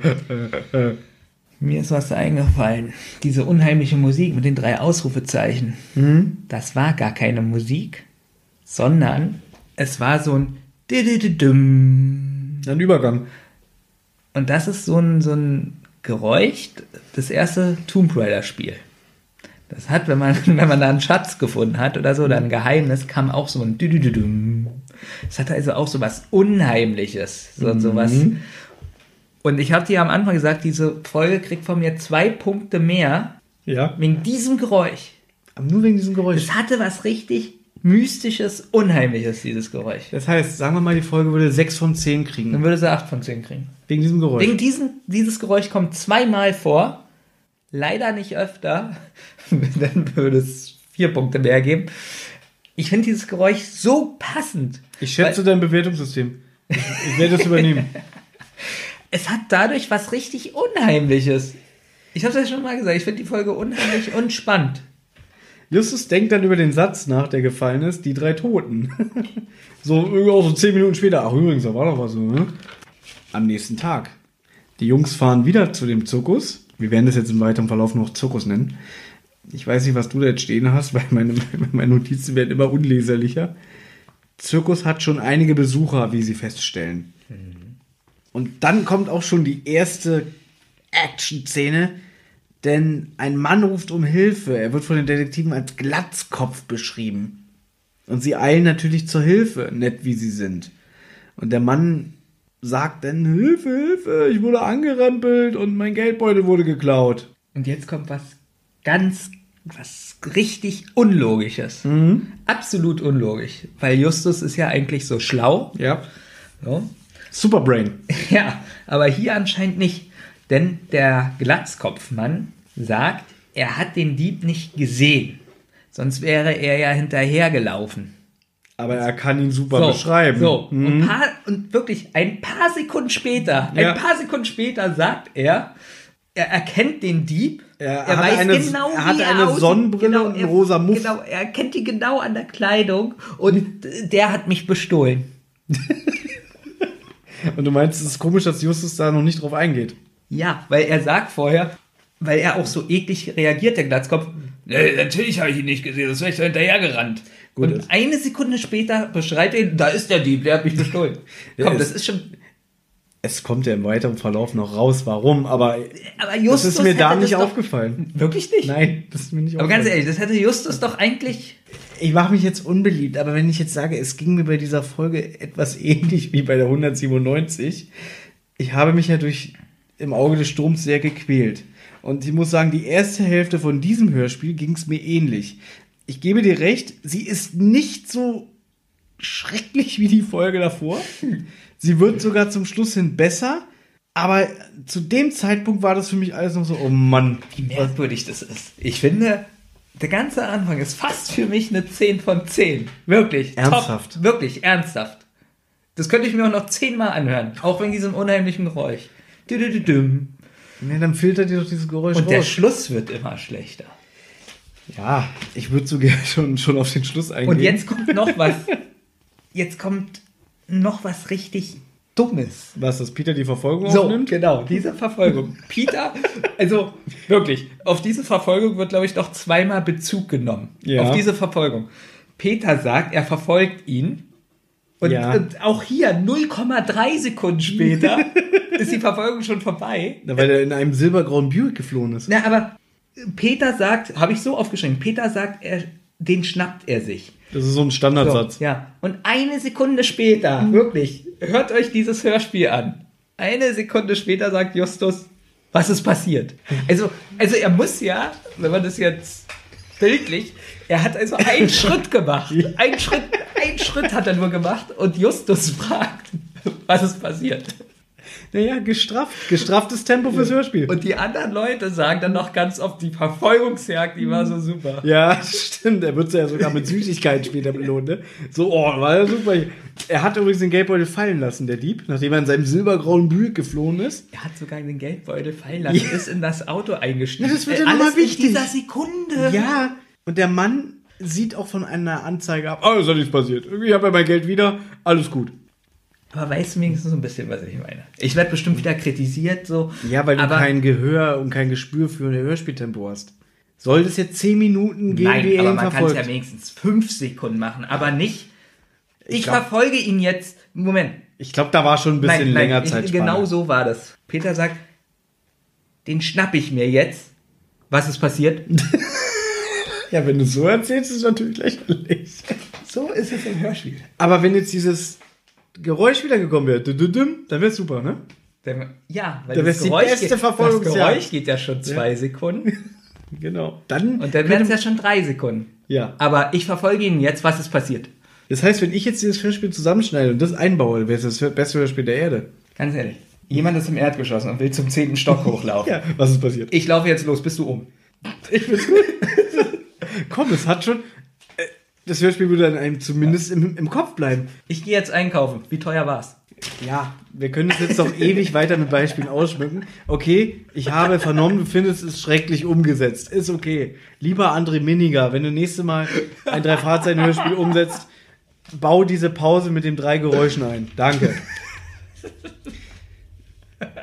Geht das schon wieder los, sagt ein Mann im Hintergrund. Und da ist es genau das gleiche wie mit dem Typen, der gesagt hat, äh, soll noch die drei Toten des Vieh holen. Dieser Satz geht da schon wieder los, wirkt wieder so merkwürdig reingeworfen, dass ich das nicht auf den Diebstahl bezogen habe, sondern dass es einfach nur einer im Hintergrund flucht. Ich habe schon wieder darauf bezogen und fand es dann auch unheimlich. Was geht schon wieder los? Aber später stellt sich heraus, dass der Typ, der das sagt, es bezog sich auf diese Aktion, weil es wird ja dann behauptet, ich greife wieder vor, dass öfter Diebstähle begangen wurden. Und deswegen, das waren so Sachen, die für mich merkwürdig betont waren und ich sie nicht in dem Moment auf die Handlung bezogen habe. Dadurch fand ich das unheimlich, weil die das so merkwürdig betont haben. Es ist auch so witzig, wenn ich jetzt hier meine Notizen lese, steht hier, geht das schon wieder los? Und mein nächster Punkt ist Mädchen mit Hündchen. Dazwischen passiert aber noch was, oder? Ich schau mal kurz. Ich glaube, die verfolgen. Nein, nein, nein, das ist wirklich so, weil ähm, da direkt das Mädchen anfängt zu weinen.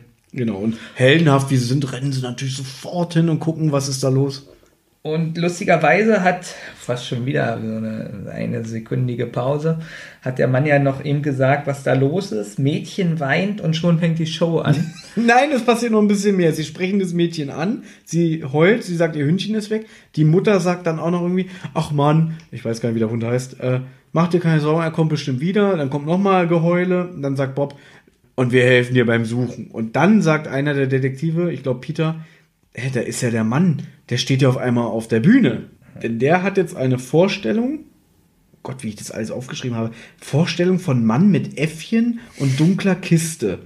Beschwörungszauber, Hund in Kiste. Okay, jetzt habe ich, hab ich sehr zusammengefasst. Genau. Da ist aber gute Musik im Hintergrund. Ja. Äh, die Leute äh, tuscheln so ein bisschen. Also ich finde die Atmosphäre eigentlich gut.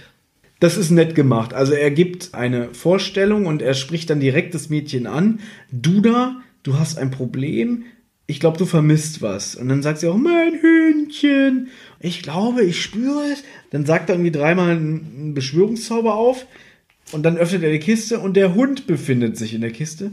Und die Detektive sind davon überhaupt nicht angetan, weil sie sagen schon vorher, der hat doch mitbekommen, dass das Hündchen weg ist. Und jetzt macht er hier seine Show. Das ist aber schon ganz schön unsensibel.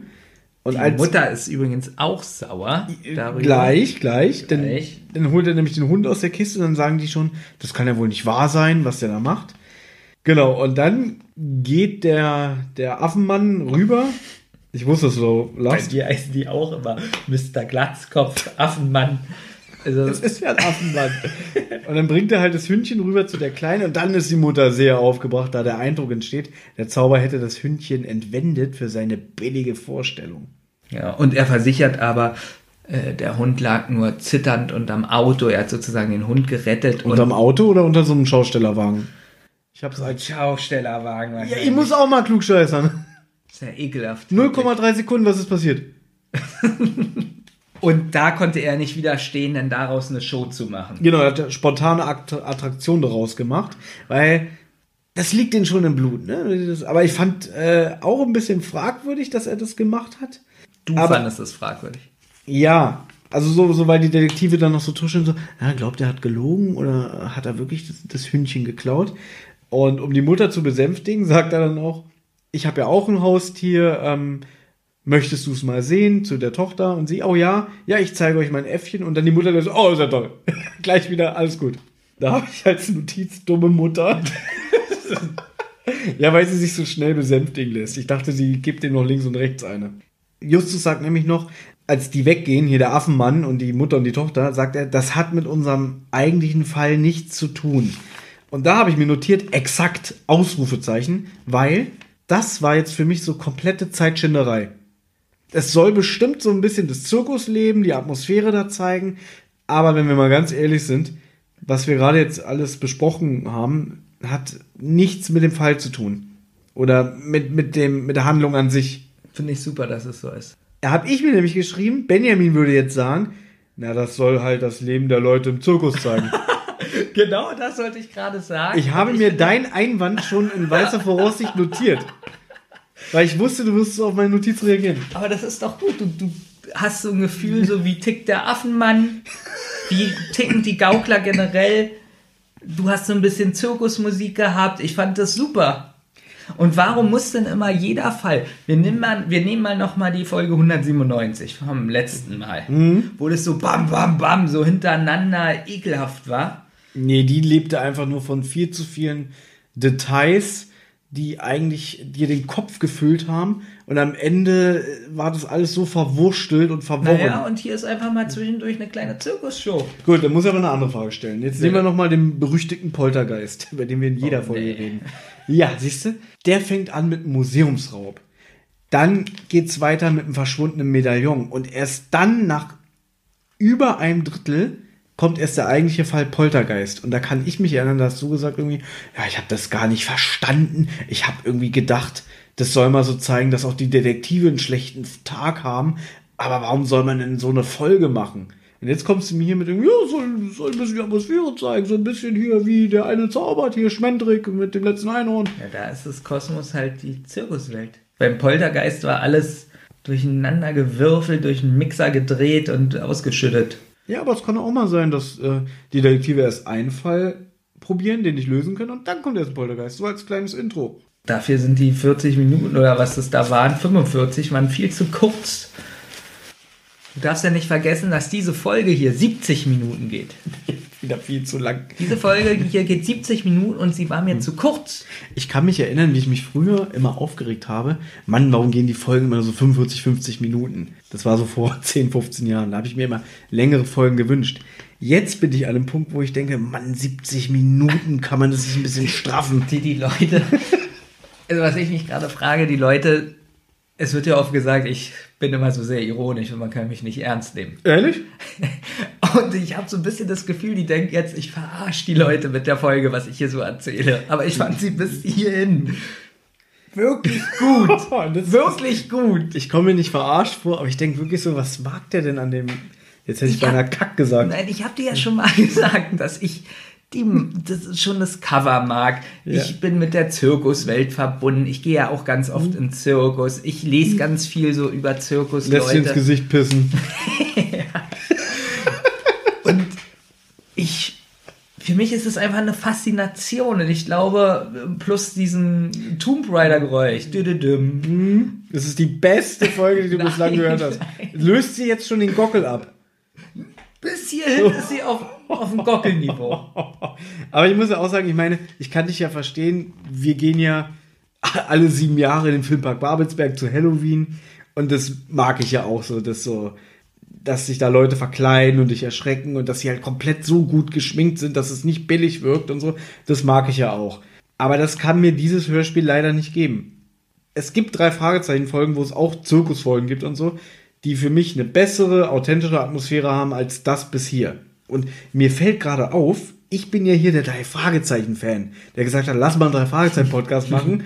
Und Und jetzt unterstütze ich die Folge hier. wir machen nur noch Folgen, die ich vernichte. Also, irgendwie habe ich das Gefühl, Dafür bin ich ja da. Ich mag ja diese Folge. nee, ich halte es nicht mehr aus. Wir müssen mal wieder eine alte Folge besprechen. Eine meiner Lieblingsfolgen. Jetzt darfst du weiterreden? Jetzt soll ich weiterreden. Jetzt kommt die Musik ohne Frauenstimmen. Da, da, da. Aber die Musik passt noch zu den Frauenstimmen. Also, also es kommt einem so vor, es ist die- dieselbe CD, die abgespielt Es wird. ist auch dieselbe Melodie, wahrscheinlich nur 30 Sekunden weiter. Also, Also deswegen, das meinte ich ja mit dem roten Faden, dass du halt mehrere Szenen so aneinandergereiht hast, wie, weiß ich nicht, eine Perlenkette. Sag mal, die Handlung ist weiß, weiße Perlen und dann kommen immer rote Perlen dazwischen. okay, das kannst du jetzt aber bei den anderen drei Fragezeichen-Folgen, die wir gehört haben, aber wohl nicht sagen. Wo die Musik teilweise so gemischt ist. Ähm, Habe ich das gesagt? Hast du eben gesagt, dass dazwischen die roten Perlen sind. Ich beziehe mich doch gerade auf die Folge. Diese, diese Melodie mit den Frauenstimmen sind die roten Perlen. Und bis zu diesem Ach Punkt. so, du meintest jetzt nur diese Folge. Ich dachte generell. ja, wie dumm bist du denn? Hörst du nicht zu oder was? Ich dachte, du meintest generell die drei Nein, Fragezeichen. nein, habe ich nicht gesagt. Weil da ist wirklich die Musik so merkwürdig gemischt teilweise. Da Teilweise. sage ich jetzt als, ich werde langsam Experte. Ja. Ja. Wie gesagt, du hast ja schon zwei Lieblingsfolgen. Der Gockel und der Gaukler. Im nächsten Segment wird Peter von einer Bauchladenfrau angesprochen. Hey, deine 0,3 Sekunden Verfolgungsjagd hat mich begeistert. Du bist ja hier der Held. Und dann belohnt sie ihn auch noch mit Süßigkeiten für seinen heldenhaften Einsatz bei der Jagd auf diesen Typen. Und sie sagt, du bist ein Zuckerperlentyp. Dann hört man so im Hintergrund wieder Bob murmeln und so, "Ja, das ist ja, äh, das ist ja. Er ist bestimmt eifersüchtig, weil Peter Perlen kriegt und er nicht. Also das ist dieses, du sagst, du magst es immer so, ja, mm, ja. Das und liebe ich. Da ist es mir aufgefallen, das fand ich aber, Ach, da fandest du das auf einmal wieder gut. ja, weil ich so dachte, wie Bob so da steht und so, oh, das ist ja, ich will auch. ja, so ein Die haben denn da auch eine ganz andere Stimmart auf einmal. Weil es improvisiert ist. Es ist so gut, dieses Improvisiert. Ich liebe es. Ob die mal eine Folge machen, nur improvisiert. Aber sie ist ja dann nett, sie gibt den anderen beiden auch Süßigkeiten, weil sie meint, freuen sich wirklich, Genau. das merkt man. Sagt sie da eigentlich schon, ja, sie sagt, sie heißt Zui. Ja, sie stellt sich als Zoe vor und sie sagt auch, die zwei Lebenden und die drei Toten werden es dir danken. Und es hören wir jetzt, glaube ich, zum zweiten und dritten Mal in dieser Folge, ne? Dass immer wieder das gesagt wird, diese Legende. Das glaube, ist ja, zum dritten Mal. das ist ja quasi diese titelgebende Legende der Gaukler, die zwei Lebenden und die drei Toten. Dann, ich, ich blicke hier durch meine Notizen nicht durch. Drei Tote für die Zirkungsleute wichtig. Muss ja irgendeiner von den Detektiven sagen, oder? Das sagt die Frau. Ach, sie sagt es. Sie, sie, also, weil er hinterhergerannt ist, verfolgt hat, ähm, sagt sie, die zwei Lebenden und die drei Toten werden es danken. Ja, das habe ich ja schon gesagt, aber Also, ich habe mir was- notiert, drei Tote für die Zirkusleute wichtig. Das muss ja einer von den Detektiven sagen. Ich habe aber nicht aufgeschrieben, wer. Nein, das hat wirklich irgendjemand, habe ich nicht aufgeschrieben, aber bestimmt Justus hat es gesagt, dass Super die drei Brain. Toten ja äh, wichtig sind. Und jetzt habe ich hier schon wieder Jetzt gehen sie eigentlich gleich zum Affenmann. das oh, Affenmann aufgeschrieben. Ja. Affenmann, Partner von to Tobin Muller. Genau, und jetzt äh, sprechen sie ihn an. Hey, ähm, sie sagen ja dann, geht das schon wieder los? Und da habe ich gerafft, ah, das bezog sich also auf den Diebstahl, dass er das gesagt hat. Ähm, wirkte für mich, nicht, für mich halt nicht im Kontext. Ja, er sagt dann noch, wie er heißt, dass er Tobin Miller heißt. Toben Miller und der Zwerg heißt ja Toben Muller? Maller. Und äh, ja, dass der Nachname so ein bisschen ausgedacht ist. Nee, die- Vornamen, bei ihren Vornamen schwindeln sie immer ein bisschen. Aber sind halt, die sind halt Partner zusammen und es hat sich irgendwie so ergeben, und die lustigerweise. machen beide die Zaubershow. Ähm, sie fragen ihn, glaube ich, auch nach diesem Typen, der den Glatzkopf bestohlen hat, der ja sehr auffällig war mit seinem rosa Muff. Und er sagt, den hat er aber nie gesehen. Und sie sprechen dann auch über die Legende. Und dann wird wieder so gesagt, na, über die drei Toten redet man nicht. Das bringt nur Unheil. Naja, ich finde, also sie fragen nach dem finsteren Stern und nach der Legende und da reagiert er schon nicht so, wie du das gerade gemacht hast, sondern sehr aggressiv und geht einfach. Aggressiv? Nö, ich fand schon, dass er ihn auf den Weg geben will. Passt mal auf, darüber redet man nicht und wendet sich dann anderen Dingen zu. Ich fand ihn jetzt nicht aggressiv, sondern eher so dieses typische, ah, lass das mal lieber sein. Aber da fehlte mir dann Na, auch ich wieder. fand schon ein bisschen Drohung war da drin. Fandest du? Ja. Na, mir fehlte da wieder so die unheimliche Musik. Deswegen sage ich ja, mir fehlt viel atmosphärische Musik, die so eine Sachen untermalen in dem Hörspiel. Ich weiß nicht, mich hat die Musik da nicht gestört, also die fehlende Musik nicht gestört. Weil ich diesmal wirklich die Hintergrundgeräusche und so gut fand. Sie beschließen dann, den Calvin Mitchell endlich aufzusuchen. Lustig, lustigerweise steht bei mir, äh, sie soll nicht mehr nachfragen und geht. Sauer, Fragezeichen. Und jetzt steht bei mir als nächster Punkt, sehr gute Musik. das ist sehr merkwürdig, unsere Wahrnehmung diesmal. Ich habe gesagt, dass es gibt keine Musik, während die sich unterhalten, Ja. aber da kam bestimmt wieder eine Musik als Übergang. Ja, aber die Übergangsmusik ist wahrscheinlich so gut, dass mir die davor nicht gefehlt hat. Ja, und ich habe es gar nicht notiert. Siehst du? Ja, in der nächsten Szene geht es zur Wahrsagerin. Aber vorher sagt der Erzähler, dass es sich gar nicht so leicht gestaltet, den Mitchell aufzusuchen, den Besitzer von, dem, von der ganzen Chose, weil der irgendwie nicht aufzufinden ist. Und die Wahrsagerin, jetzt kommt das, was du gesagt hast. Jetzt fängt es so langsam an, dass man die Stimmen überhaupt nicht mehr unterscheiden kann. Ich finde, sie hört sich nicht anders an wie eigentlich die Frau Zoe eben. Und jetzt kommt halt äh, die Wahrsagerin. Es wird jedenfalls auch gesagt, dass es langsam auch dunkel wird. Und Peter sagt dann auch so, ey, es klingt vielleicht albern, aber lass uns doch mal in das Wahrsagerzelt gehen. Ist kein Zelt, ist ein Wagen, aber Wahrsagerzelt, finde ich, spricht sich schneller und leichter aus. Ich glaube, Bob ist auch so ein bisschen davon nicht begeistert, aber Bob. Nee, äh, Justus ist nicht. Justus. nein, Bob sagt irgendwie was und Justus sagt, nein, das ist ein guter Einwand, Peter. Er lobt ihn. Achso, dann war das. Ich kann die drei gar nicht unterscheiden. Das hatten wir schon mal das Thema. Bitte, ich bin der Experte, ich kann die drei nicht unterscheiden. Mhm, genau. Und jetzt kommt aber wieder mein, so, so, so ein Lieblings-Smalltalk. Was Wenn du sie wieder jetzt- nicht magst. Ja, warte mal, ich weiß, worauf du hinaus willst. Sie gehen in die Wahrsagerbude. Die Frau da stellt sich als Susanna vor.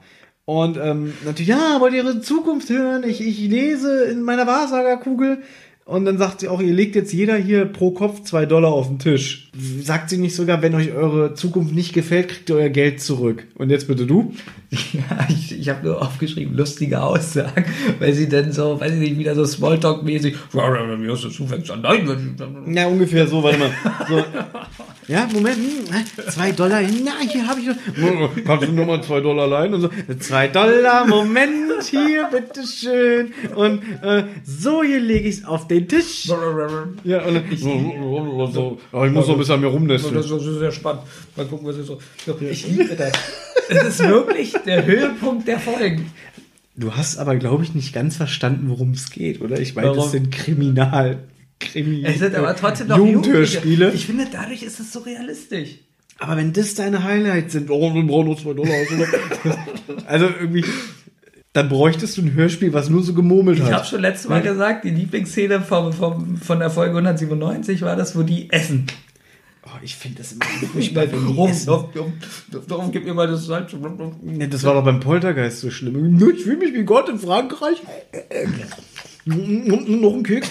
Aber Justus nicht. Es ist genauso wie bei dem Bud Spencer und Terence Hill Film, wenn die essen. Und die anderen so, Gut, da sind so auch die Sprüche. Ey, der Pfeifenwichser, da hat er ein bisschen was im Bart. Vielleicht sollte ich ihm das mal abkotzen. Ich finde das super. Butter ist fett und, und Fett verklebt die Klumpozytin oder wie das heißt. Äh. Jedenfalls ist da auch dann ein unheimlicher Sound, habe ich aufgeschrieben. Na, da muss also wieder Atmosphäre sein. Da gelingt es aber. Das ist so eine indische, ja, also wie nennt man dieses, äh, ist es eine Sitar, auf, die, auf der gespielt wird? Na was? Kennt sich auch sehr gut aus. Na, es ist ein indisches Instrument, Ja, dieses typische Sitar. Zitar heißt es, oder? Ja, wird es wohl sein. Jedenfalls wird Justus vorausgesagt. Ah nee, du sagst ja, Justus fängt ja nicht an. Dann wird die Bob wahrscheinlich vorausgesagt. Ich habe hier stehen Justus zuerst. Äh, also, dann war das ja doch Justus, der zuerst die zwei Dollar hinlegen Die will. packen alle zwei Dollar auf den Tisch, aber Justus soll als erster dran sein und kriegt seine Zukunft vorhergesagt. Justus war nicht der Misstrauische. Also eben hast du gesagt, Bob ist der Misstrauische. Bevor sie in die Bude gehen, nochmal. Peter sagt, passt mal auf, das klingt bestimmt albern, aber wir gehen jetzt darin. Dann sagt Bob, ja, ehrlich, sollen wir das uns wirklich antun? Dann sagt Justus, gute Idee, Peter. Und dann gehen sie in diese scheiß Bude. Ah, und, da ist denn Justus der Misstrauische. Ja, er strahlt irgendwie was aus und sie sagt schon irgendwie so, ah, ein, äh, du bist ganz schön misstrauisch, das Dann- gefällt mir, eine Herausforderung. Dann erkenne ich ja doch die Stimmen. Sehr gut. Dann wird gesagt, Mensch, hier Justus ist zuerst dran und sie sagt ihm dann voraus, oh, großes Unheil und du hast einen Auftrag und gib nicht auf und äh, da liegt dir was im Weg. Also das typische leere Gewäsch, was so eine Wahrsagerin dir um die Ohren haut. Ja, und dann fragt Justus, was ist mit der Legende der drei Toten und zwei Lebenden? Und da wird die Wahrsagerin, habe ich jetzt auch wieder aufgeschrieben, sauer. Ja, dieses typische, wie alle reagieren, darüber redet man nicht. Ja, aber ich finde schon sauer. Und erzählt aber trotzdem so ein bisschen weiter. Das ist ein, ähm, es ist, dass es eine Geschichte voller Unheil ist und dass es sich um fünf Personen dreht. Alle Namen mit Y. Genau, dass das, äh, dass es die Geschwister Franklin sind. Genau. Brody, Clay, Kaylee, Marley, Dana. Das hast du alles aufgeschrieben? Ja, aber wo ist denn Dana? Wo ist denn da ein Y? Eigentlich. Fällt mir gerade auf. Wahrscheinlich nur Dana irgendwie mit Y geschrieben. Ich habe D-A-N-A geschrieben. Aber sie sollen ja alle mit Y geschrieben worden sein, oder? Wenn nicht jetzt Montag von uns einer von, äh, in den Buchladen geht und sich das kauft, werden wir es wohl nie erfahren. Dana wahrscheinlich irgendwie mit Y. Dana. So, und drei Geschwister sind tot, sagt sie. Brody, Clay und Kaylee. Und zwei leben noch. Nee, das sagt sie gar nicht mehr, weil ihre Tochter dann reinkommt. Die Tochter kommt rein und die Wahrsagerin bricht mehr oder weniger das Gespräch ab, weil die Tochter nichts mitkriegen sollen, äh, soll und die Detektive sollen jetzt aus dem Laden gehen. Ja, sie schmeißt sie mehr oder weniger raus und sagt, sie macht jetzt ihre Bude zu, ihr könnt morgen wiederkommen. Und hier überschlagen sich jetzt die Ereignisse. Nachdem die drei Fragezeichen aus der Wahrsagerbude äh, gegangen werden, sieht man eine alte Frau in schwarzer Kutte da irgendwie auf dem Platz stehen und der Zwerg Tobin liegt vor ihr auf dem Boden und macht nur so, ah, ah, Hilfe! ah." Irgendwie Ja. können die das immer nicht gut so mit Schreien und so Gefahr darstellen. Ah, find so, ah, aua. Ja, genau. Das, genau dieses A, A, Aua, was wir schon bei einer Folge hatten, so ungefähr schreit auch. Der schreit einmal um Hilfe und das aber- war's. Hilfe! Äh. Äh, äh, Kannst du bitte nochmal machen? Bitte. Ja, seht mal da, eine Frau in schwarzer Kutte, bla bla. Und ähm, Peter eilt dann zu dem Zwerg, um ihm aufzuhelfen. Und die alte Frau fährt ihn dann an, äh, äh, scher dich weg, lass, lass das sein. Und sie will ihn wegscheuchen. Ich muss jetzt vorgreifen. Sie sagt noch, ich möchte noch sagen, was die Frau sagt, sie beschmutzen den finsteren Stern, der mal strahlend war und schön. Es kommt später noch was im Hörspiel vor, aber das muss ich jetzt halt vorgreifen. Es soll sich ja hierbei um eine 74 Jahre alte Frau handeln. Altersheim wohnt und schon leicht plemplem ist. Richtig. So. Und jetzt habe ich gegoogelt, die Sprecherin von der Frau ist im wahren Leben 49 Jahre alt. Und mir ist es schon in der Szene aufgefallen, die klingt viel zu jung. Da versteht man das ja noch nicht, wenn man das das erste Mal hört. Aber da habe ich so gedacht, so, wenn dann darüber erzählt wird, ja, das war die alte und bla bla bla, dachte ich so, hä? Die klang ja fast so wie alle anderen Sprecherinnen in dem Hörspiel. Also noch eine, die genau dieselbe Stimmfarbe hat. Weißt du, was ich meine? Ja. Ich fand die viel zu jung. Ist mir nicht aufgefallen. Okay. Ja, es wird wieder von Unheil und Untergang gesprochen, wie du schon Ach, meintest. ich glaube deshalb, weil ich hier da ja noch nicht wusste, dass sie. Genau, da ist es ja nur. Ich weiß, warum es mir nicht aufgefallen ist. Da wird ja nur gesagt, es ist eine Frau mit schwarzer Kutte. Man weiß ja gar nicht, dass sie so alt ist. Da muss man nämlich wieder aufpassen. Das habe ich nämlich beim ersten Mal hören auch wieder nicht kapiert. Ähm, ich habe da sogar gedacht, dass die ganzen Schausteller, dass es eine Aktion von denen war. Aber der eigentliche Drahtzieher ist ja dafür verantwortlich. Nur da habe ich noch gedacht, ach, das ist bestimmt eine Vorstellung von den Zirkusleuten. Ja, das war ja auch so. Deswegen ist ja die Folge so gut, weil man das denken könnte. Wie du jetzt wieder die verteidigst, die Folge. Und mir wieder erzählen willst, wie gut die ist und ich Banause Naja, bin. weil du bist ja drauf reingefallen. Ja, Wie so ein. Irgendwie wirst du immer leiser, habe ich das Gefühl. Ja, du bist ja, du bist ja auch darauf reingefallen. Der Autor hat es also geschafft, dich zu verwirren. Der Autor hat es geschafft, mir wieder so eine belanglose Folge um die Ohren zu hauen, dass ich immer nur mit halbem Ohr hingehört habe. Warum? Man wusste doch nicht, ob das eine Show ist oder ob es ernst ist. Das ist doch gerade das Spannende. Ja, aber es ist für mich traurig, dass ich schon inzwischen an einem Punkt bin, dass mich eine Drei-Fragezeichen-Folge so wenig catcht, dass ich bewusst zuhöre. Ich hatte jetzt nicht den Ansporn, die zu hören, weil es eine neue Drei-Fragezeichen-Folge ist. Jetzt kannst du mir wieder vorwerfen, was bist du für ein Fan?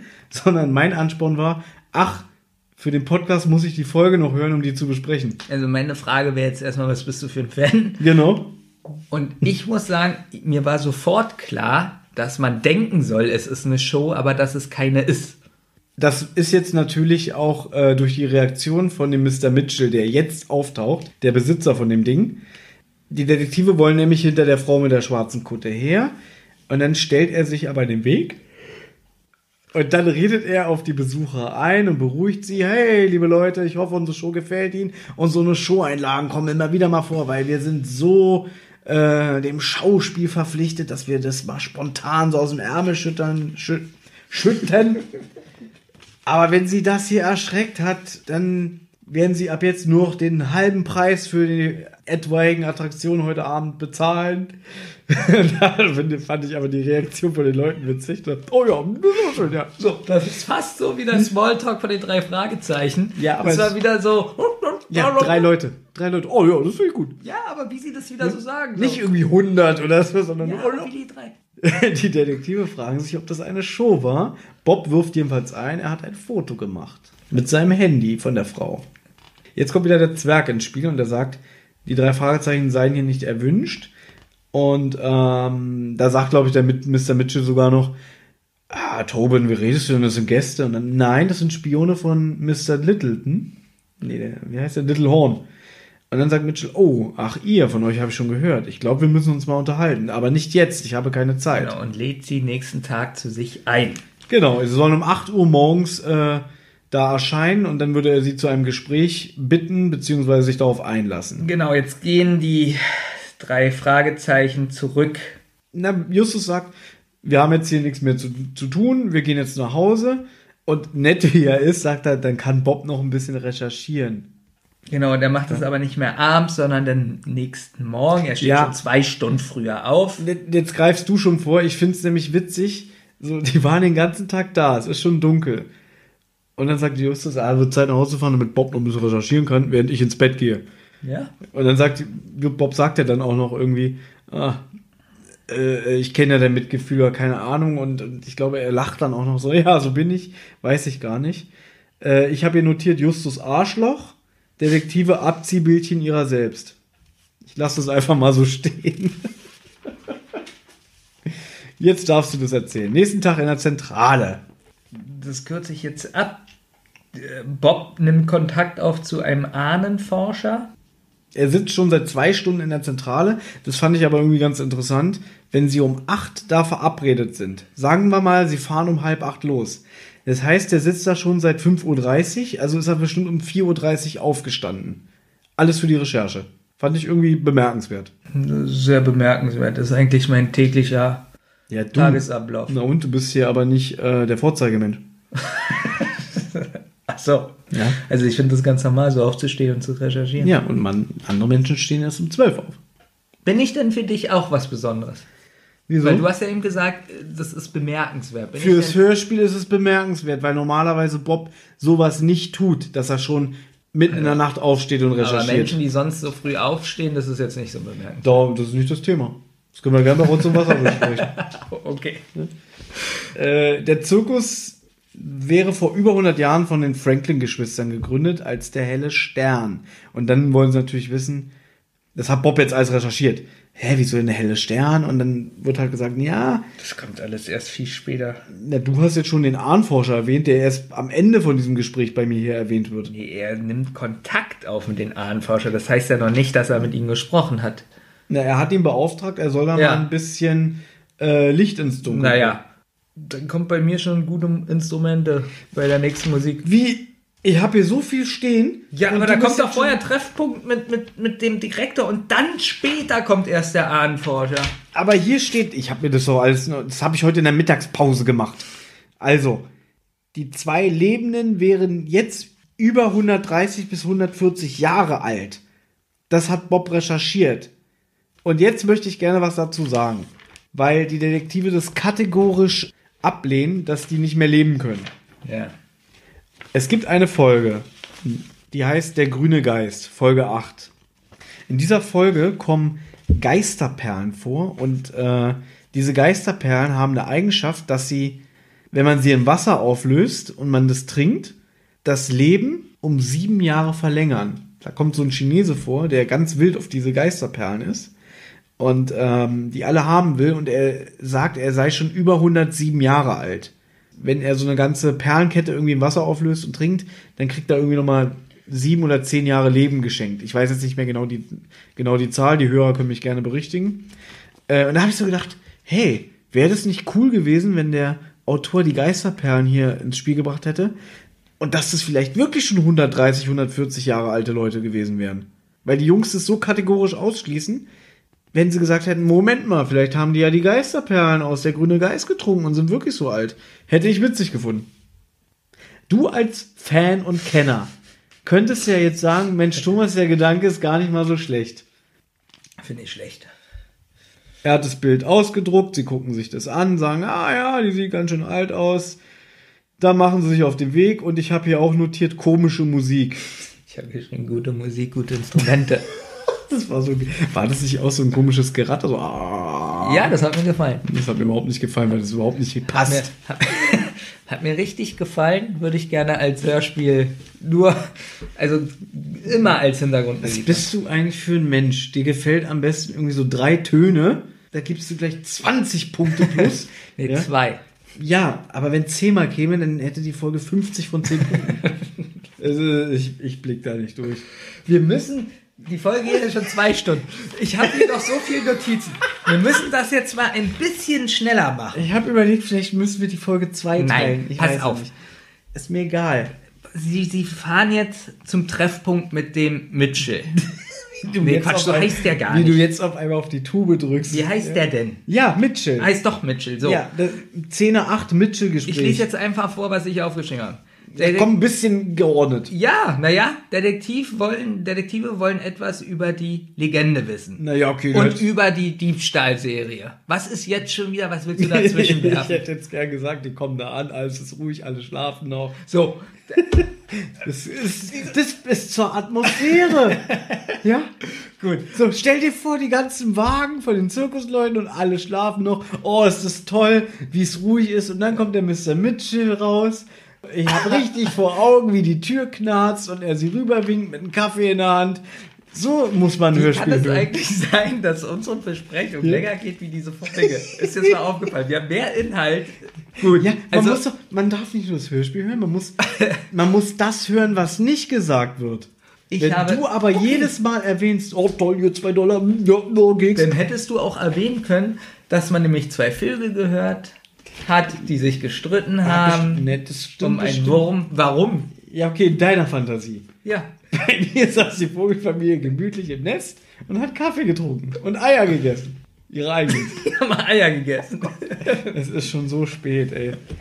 Okay, drei Fahrzeuge wollen Näheres über die Legende und die Diebstähle wissen. Wo ich auch sagen muss, es dreht sich so im Kreis. Immer wieder, was ist denn mit der Legende? Und immer wieder wird Na, gesagt. okay, darum geht's in der Folge. Ja. Sollen Sie sagen, wir wollen gerne wissen, wie Hertha BSC gespielt hat oder was? Das hat überhaupt keinen Sinn. Natürlich müssen Sie. Und da es in Amerika spielt, würden sie dann sagen, what? Hör, hört er what? Ah, German Wurst. Sie sprechen das erste Mal mit dem Direktor. Dann ist doch wohl klar, dass die fragen, was es mit der Legende auf sich hat. Ja, und Justus zweifelt auch das Unheil an, weil der wieder sagt, so, psch, psch, nichts dazu sagen. Und dann so, entschuldigen Sie bitte, wir haben schon öfter uns darüber unterhalten und nichts ist passiert. Und dann sagt er, glaube ich, auch noch, na, ihr werdet schon sehen. Äh, er behauptet jedenfalls, der Mr. Mitchell, dass die Zwei Schwestern noch leben. Zwei Schwestern noch leben und die alte Frau gestern war Dana Franklin. Er hätte sie erkannt. Er packt dann so ein bisschen aus, dass diese, weil sie ja von diesem Unheil und, und äh, so gesprochen hat, dass sich das auf ihn bezieht, weil er ist ja kein Franklin und er würde das Erbe des finsteren Sterns beschmutzen. Sein Großvater hätte legal den finsteren Stern gekauft. Und ähm, sie, dann wird auch endlich erzählt, warum das der finstere Stern heißt. Denn Bob hat in seinen Recherchen rausgefunden, dass es ursprünglich der helle Stern hieß. Das hast du auch einfach übergangen. Das wollte ich vorlesen. Hast du gesagt, ja, bei mir kommt gute Musik, 20 von 10 Punkte. Der Name wurde im Laufe der Zeit geändert wegen den Todesfällen. Dann wurde immer wieder dieser Stern dunkler angestrichen, bis er irgendwann nur noch finster war. Oh Gott, das ist jetzt alles auch wieder so verworren. Irgendwie, weiß ich nicht. Vor 40 bis 50 Jahren seien die wieder aufgetaucht. Kannst du mir mal bitte helfen? Ich, ich blick durch meine Notizen nicht durch. Weil ich die Folge so toll fand. Theoretisch ist ja das der Kern, was du gerade gesagt hast. ähm, er will jetzt gerade von der Diebstahlserie erzählen und dann kommt aber Littlehorn rein. Ach nee, da kommt er noch nicht rein, sondern er sagt, dass Littlehorn für ihn noch arbeitet. Darf ich eine Sache dazu sagen? Ja. Du bist ja so ein Musikfetischist. Weißt du, was ich mir gewünscht hätte? Als der Mr. Mitchell das alles erzählt, dass er kein Franklin ist, dass sein Großvater das gekauft hat und so, da hätte ich mir auch gerne düstere Musik zur Untermalung gewünscht und es wurde so ganz trocken erzählt. Das fand ich schade. Hab ich mir extra notiert. Wie gesagt, ich fand das in den Szenen richtig gut. Fandest Das du gut, hatte dass was Unheimliches. das so ganz trocken erzählt Ja. wird? Mir hätte da ein bisschen Atmosphäre, hätte ich mir gewünscht. Oder nicht schlimm. Ist ja auch nicht schlimm, aber dadurch macht es das Endprodukt für mich nicht ganz rund. Ist ja auch egal. Peter spricht auf Littlehorn an und ähm, jetzt bittet Justus den Mr. Mitchell, dass sie die Erlaubnis kriegen, um auf dem Zirkusgelände zu ermitteln. Und da sagt er dann irgendwie auch so, ermitteln? Ach Jungs. Und dann kommt die berühmt berüchtigte Karte der drei Detektive ins Spiel, die er dann halb vorliest. Er sagt noch, dass der Glatzkopf wirklich bestohlen wurde, dass es nicht von ihm inszeniert wurde. Richtig, weil ähm, er packt da jetzt aus, bevor Littlehorn nämlich reinkommt, sagt er, pass mal auf, Jungs, es gab keine Diebstähle, was sich jetzt auf den Littlehorn bezieht. Dem wurde seine Tageskasse mit 300 Dollar nämlich nicht geklaut. Er sagt, wie du schon erwähnt hast, der arbeitet denn noch für mich. Es ging rein um Werbung, denn die drei Fragezeichen sind ja jetzt keine Unbekannten. Die sind ja stadtbekannt mit ihrem Detektivunternehmen und die haben sich gedacht, pass mal auf, der Littlehorn sagt, wenn wir da hinkommen, ich werde mal den Jungs ein Märchen erzählen und dann kommen die hier aufs Gelände und dann werden die ein bisschen Werbung für uns machen äh, und dann kommen die Zuschauer in Scharen. Das wird zwar so nicht gesagt, aber das ist quasi eigentlich die Ausgangssituation. Man kann also zusammenfassen, dass der Mitchell gesagt hat, die Schwestern leben noch, sie sind so mindestens 140 Jahre alt, dass er ähm, seinen Vater den Zirkus gekauft hat. Der Opa, ja. Der Opa, genau. Dann, ähm, dass es der helle Stern mal war, jetzt äh, der dunkle Stern ist. Dann, dass Little Horn noch für den Zirkus arbeitet. Warum fasst du das jetzt alles nochmal zusammen? Das haben wir Weil das, gesagt. ja, weil das, was wir gesagt haben, eben so lang war. Ich weiß nicht, ob man sich das alles merken kann. Gut, dann kann ich das andere ja alles wegschneiden und nehme nur deine Zusammenfassung. Nein. genau. Little Horn ist jedenfalls immer noch aktives Mitglied Den sagen wir jetzt wirklich zum vierten Mal. und die Wahrsagerin war nämlich auch eingeweiht, weil dieser ganze Schmarren, den sie da Justus erzählt hat, wird dann gesagt, ach ja, wir haben einen Fall, diesen Fall, wo ich so dachte, das ist so random, was sie sagt, das könnte alles sein. Eine große Aufgabe liegt vor dir, ja, hier die scheiß Eisenstangen vom Laster von deinem Onkel abladen. Das ist Justus Auftrag. Trotzdem wird hier noch gesagt von Mitchell, dass der Glatzkopf wirklich bestohlen wurde. Denn es ist nicht der Stil von den Zirkusleuten, dass sie wirklich Leute beklauen. Das machen sie nicht. Und auch die Aktion mit der alten Frau in der Kutte war nicht von ihnen äh, arrangiert. Denn alle haben ja so Schiss vor der Legende, dass sie damit nicht spaßen würden. So, Little Horn kommt jetzt in den Wohnwagen. Er ist ein bisschen erstaunt, dass die Detektive da sind. Zeigt jetzt aber trotzdem ein Foto von einem brennenden Wohnwagen Exakt. und eine Nachricht. Die aus seinen Kirschkernen, die bei ihm auf dem Tisch lagen, angeordnet wurden. Also Buchstaben. So, und das finde ich jetzt extrem witzig, denn es wurde mit den Kirschkernen geschrieben, der finstere Stern geht unter, ihr werdet bezahlen. Jetzt habe ich mir so gedacht, das müssen ja zehntausende Kirschkerne sein. Er hat so einen riesigen Sack. So, so. Habe ich auch gedacht. Wie viel Kirschkerne das sein müssen, um diesen Satz zu schreiben? Zwei. Das Schöne ist, gleich wirst du noch den Podcast machen, denn meine Aufzeichnungen enden hier. Oh, das ist schön, bei mir geht's schnell. Denn, jetzt muss ich aus dem Kopf zitieren, witzigerweise kommt ja jetzt auf einmal, also der, der Mitchell sagt ja auch, pass mal auf, die Jungs wissen Bescheid. Und jetzt, jetzt rudert der Littlehorn auch zurück und sagt, naja, äh, mein Plan ist jetzt nicht aufgegangen, ihr solltet mir helfen zu gewinnen und das hat sich jetzt erledigt. Jetzt ist eure Arbeit hier erledigt, Jungs, haut mal ab. So, jetzt kommt der Typ mit dem Muff rein. Ja. also sie erkennen ihn der, der den Glatzkopf bestohlen hat. Ja, ich finde nämlich, seit sie bei diesem Mitchell sind, Ja. überschlagen sich die Dinge. Das ist in meinem Kopf, ähm, ich habe es mir nicht notiert, aber ich wollte mir es notieren als Auflösung Nummer eins. Denn jetzt wird so eine Sache schon mal, was im Laufe des Hörspiels alles passiert ist, diese losen Episoden aufgelöst, nämlich warum sie engagiert wurden, war, was dieser Diebstahl auf sich hatte, wer das eigentlich alles war.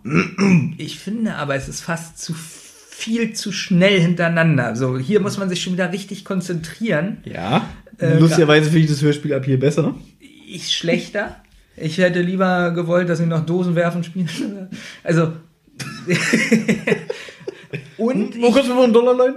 ich muss auch sagen, dass diese Stimme von dem Direktor, ich kann nicht genau sagen, ob ich die mag oder nicht. Ich finde, der redet teilweise gut, teilweise total künstelt ähm, billig. Ich habe ihn abgestempelt in meinem Kopf als einer der besseren Sprecher. Okay.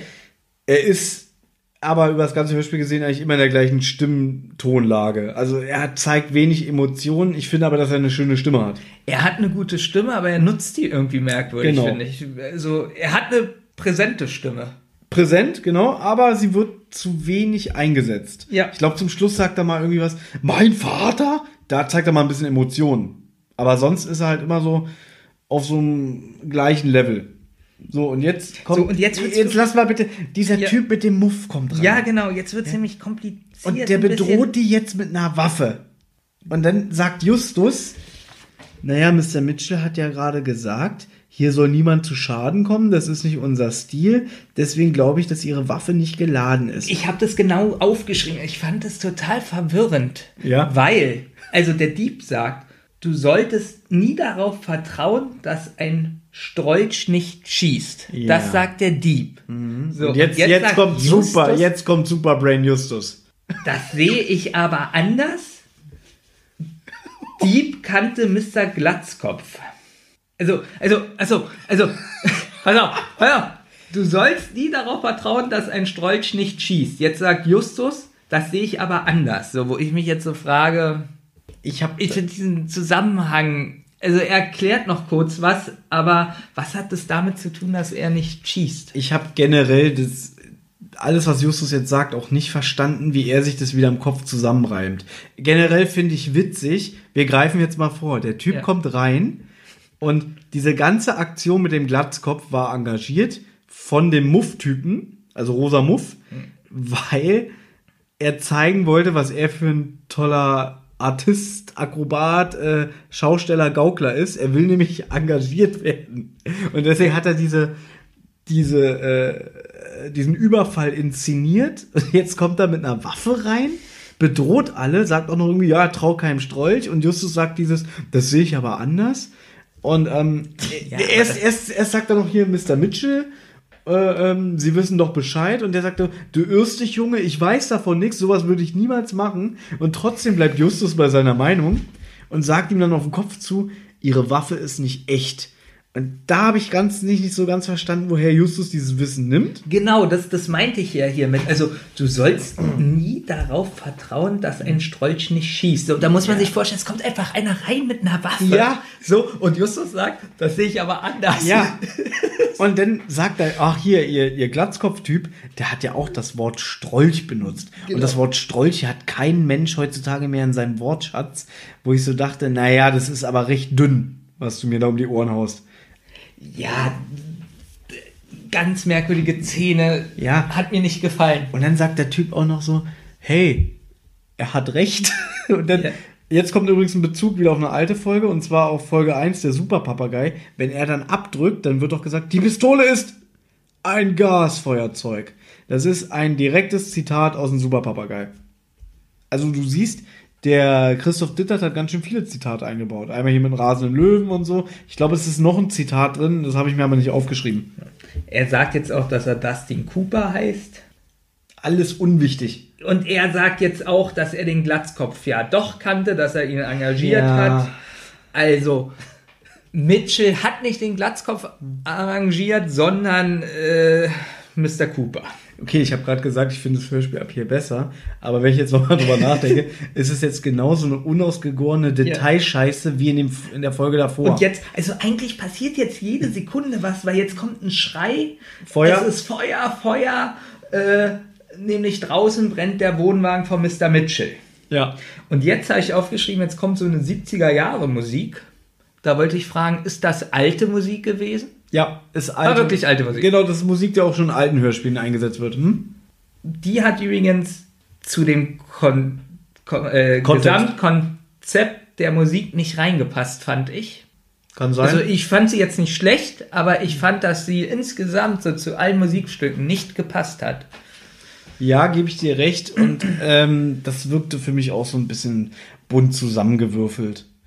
Ähm, muss ich mir jetzt vorstellen, dass sein Wohnwagen komplett abbrennt? Genau, also, also erstmal niemand verletzt sich bei dem Brand, aber der Wohnwagen ist komplett abgebrannt.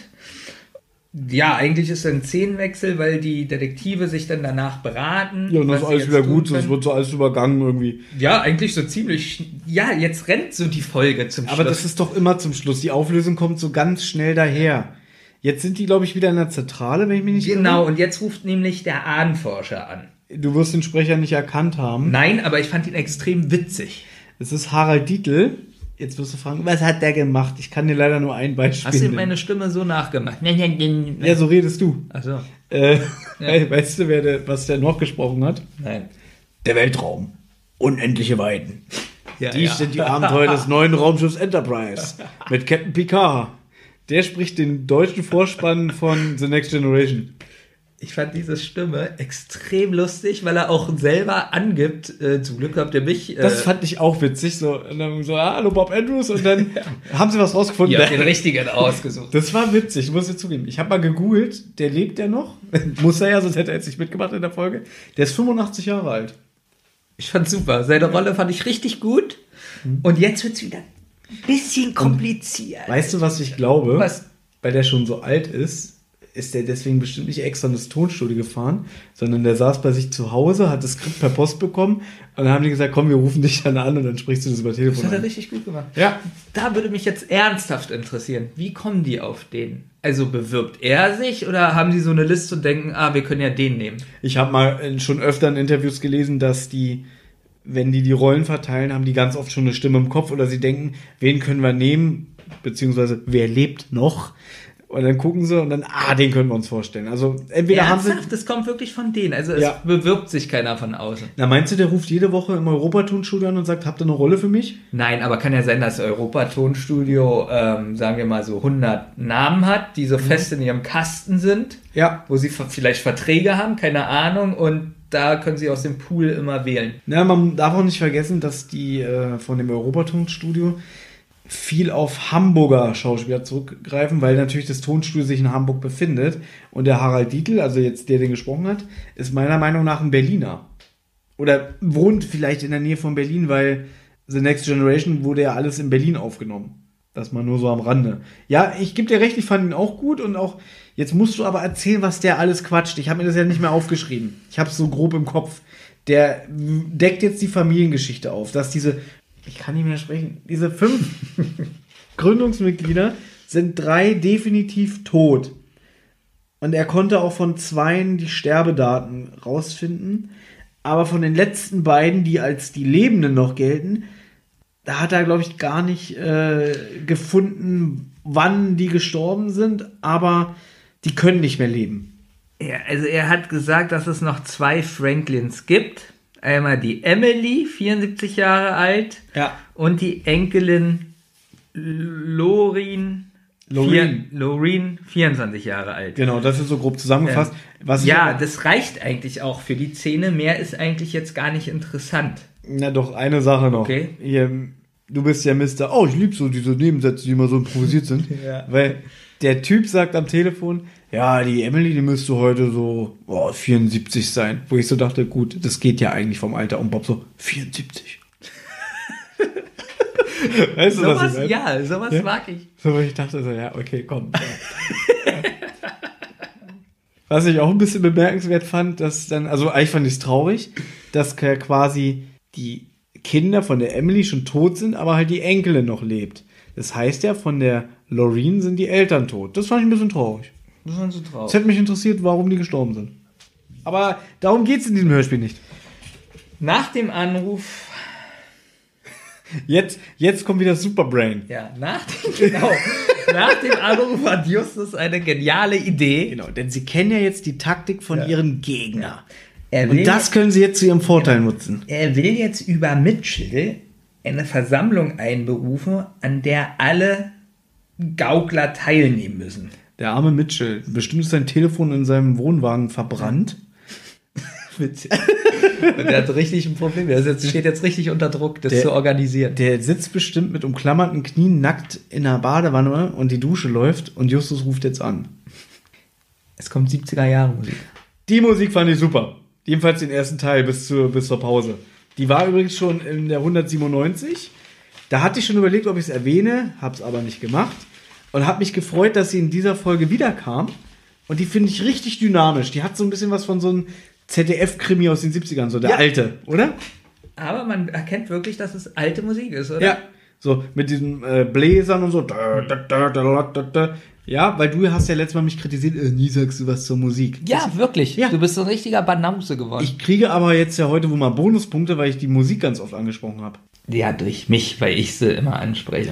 Ich, Ja. ich sag immer als erstes irgendwas über die Musik und dann steigst du so mit ein, damit du nicht so schlecht dastehst. Jetzt habe ich gerade als erster die Musik erwähnt. Okay. Warte mal, hast du es wirklich als. Ich habe gesagt Musik und dann hast du gesagt, ja, die fand ich richtig gut. Ja, aber du hättest es jetzt einfach nur so übergangen mit, jetzt kommt 70er Jahre Musik.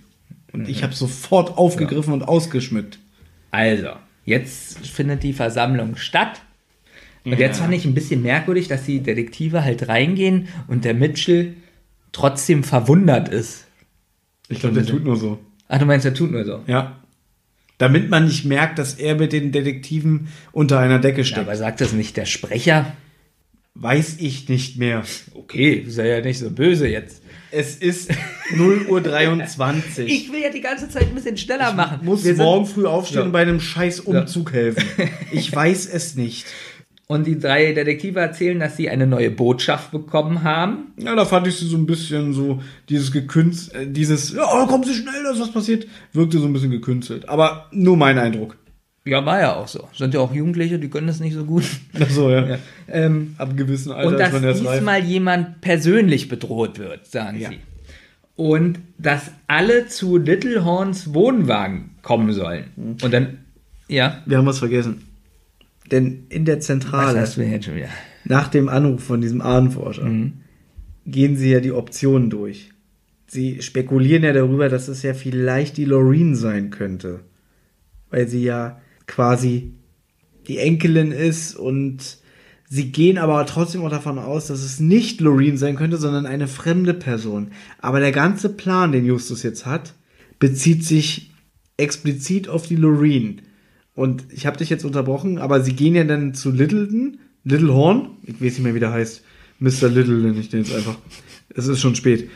Und der ist ja dann auch ganz aufgebracht und sagt, was macht ihr denn hier? Und dann lesen sie die Botschaft vor. Äh, hast du sie aufgeschrieben? Du bist die nächste Lo Wie heißt die? Loreen. Loreen. Und da habe ich mich gefragt, okay, erst besprechen sie in der Zentrale, vielleicht ist es auch jemand anders. Und jetzt legen sie ihr ganzes Kartenblatt auf Loreen. Und was wäre jetzt, wenn, wenn die da sind, ja und jetzt? Und dann passiert nichts. Was hätten sie dann gemacht? Ja, gute Frage. Weißt du, was ich meine? Ja, ich weiß, was du meinst. Also ich fand es ein bisschen dünn. Also ich fand auch wieder dünn, wie viele Kirschkerne benutzt werden mussten für diese Nachricht. Du bist die nächste Loreen. Das würde ich gerne mal als Bild sehen. Weil er braucht theoretisch so zehn Kerne so für sein Hütchenspiel, falls mal ein Kern runterfällt oder so. Für was braucht er denn 120.000? Naja, er hat 300 Dollar pro Tag in seiner Ja, Kasse. okay. Da muss er, braucht er sehr viele So. Kirschkerne. So, jedenfalls kennt keiner eine Loreen ähm, und die Detektive fangen jetzt an, Ein Märchen zu die, erzählen. Gesch die Geschichte zu erzählen. Und jetzt wird's, jetzt muss man wieder genau hinhören. Also, Das ging hier aber noch. Das ist nicht so krass wie im Auge des Sturms. also, Dana hat ein Kind. Oh Gott.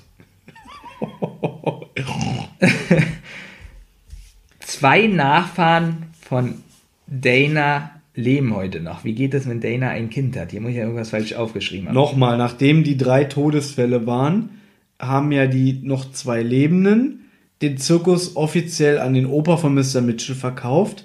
Und die Dana hatte Kinder, damit der Na und dadurch ist die Familie Franklin quasi äh, konnte sich fortsetzen. Der Stammbaum wurde nicht unterbrochen.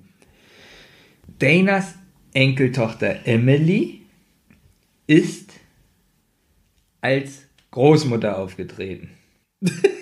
Das ist so scheiße von dir erzählt. Äh, es, Wieso? irgendwie sehr, sie war eine derjenigen, die quasi als die Gründungsmitglieder, die ja noch leben sollen, aber Ja. dann verschwunden sind, für Angst und Schrecken gesorgt haben, indem sie in der Maske von den zwei Lebenden aufgetaucht ist. Ja. Wird es da schon so erzählt? Hab ich so? Das erzählen jetzt so.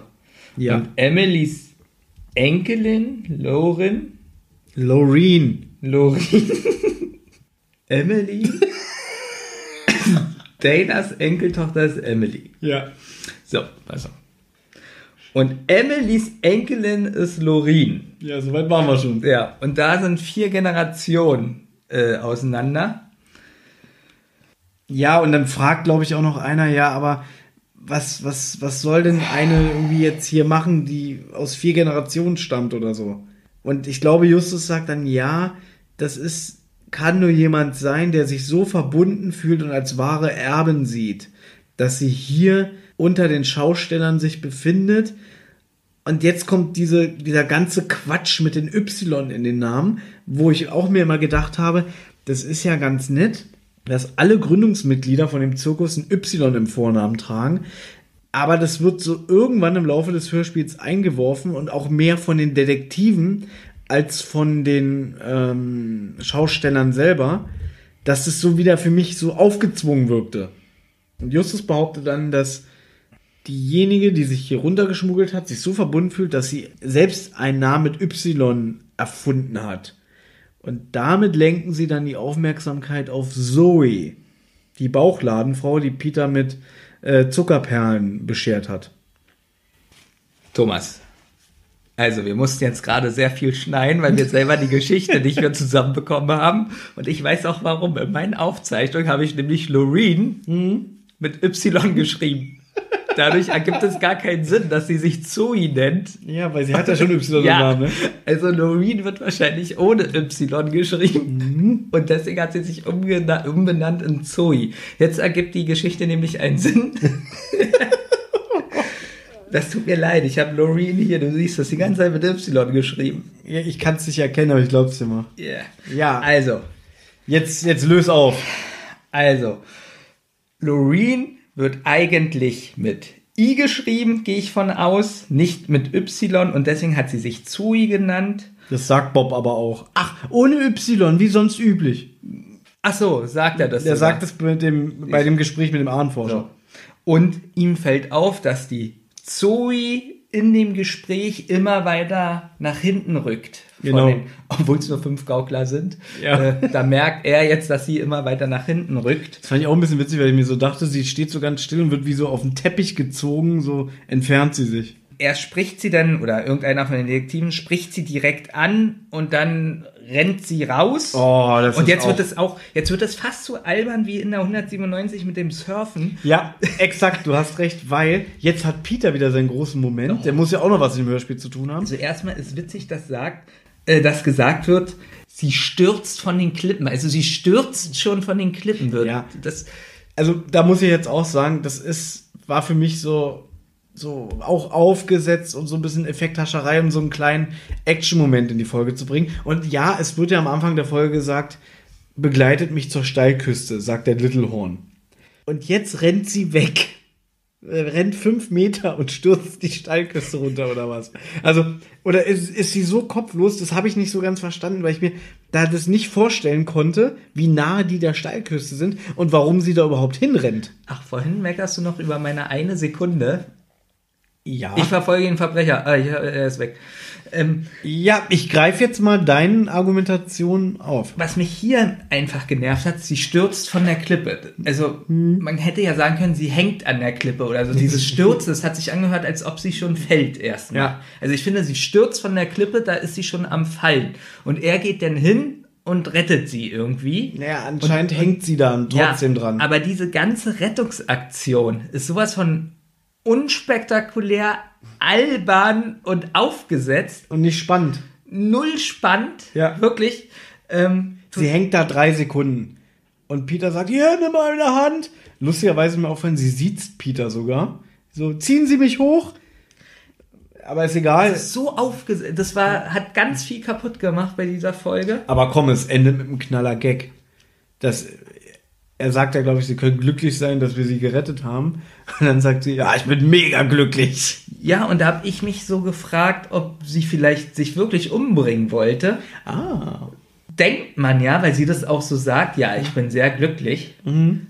Ähm, aber in der nächsten Szene, äh, in der nächsten Szene denkt man so, ja, warum ist sie eigentlich so weggerannt? Sie ist eigentlich voll die coole äh, Person. So, ich möchte noch ganz kurz sagen, dass da so eine richtige, nach dieser Rettung, so eine richtige düstere Musik ist. Mhm.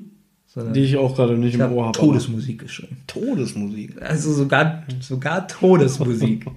So. Ja, fünf Ja. Punkte plus. Ne, ich muss noch äh, abschließend dazu sagen, ich gebe dir in allem recht, dass es so aufgesetzt und billig wirkte.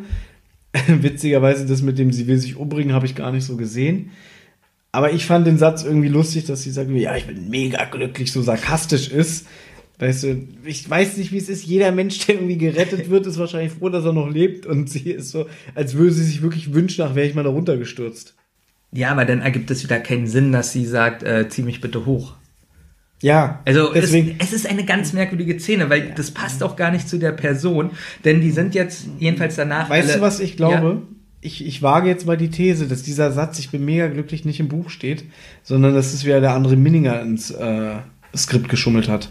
Weil der manchmal so einen ganz komischen Humor hat. Der Humor ist ja nicht schlecht, Hm. aber es passt irgendwie nicht. Sie, die sind doch da eine Weile. Sie, sie rennt doch nicht los und fällt gleich die Klippe runter. Also Ja, wenn es die nackte Kanone wäre, würde es ja passen. Aber irgendwie. wenn es die nackte Kanone wäre. Ne? Lauf weg! Ah! Ja.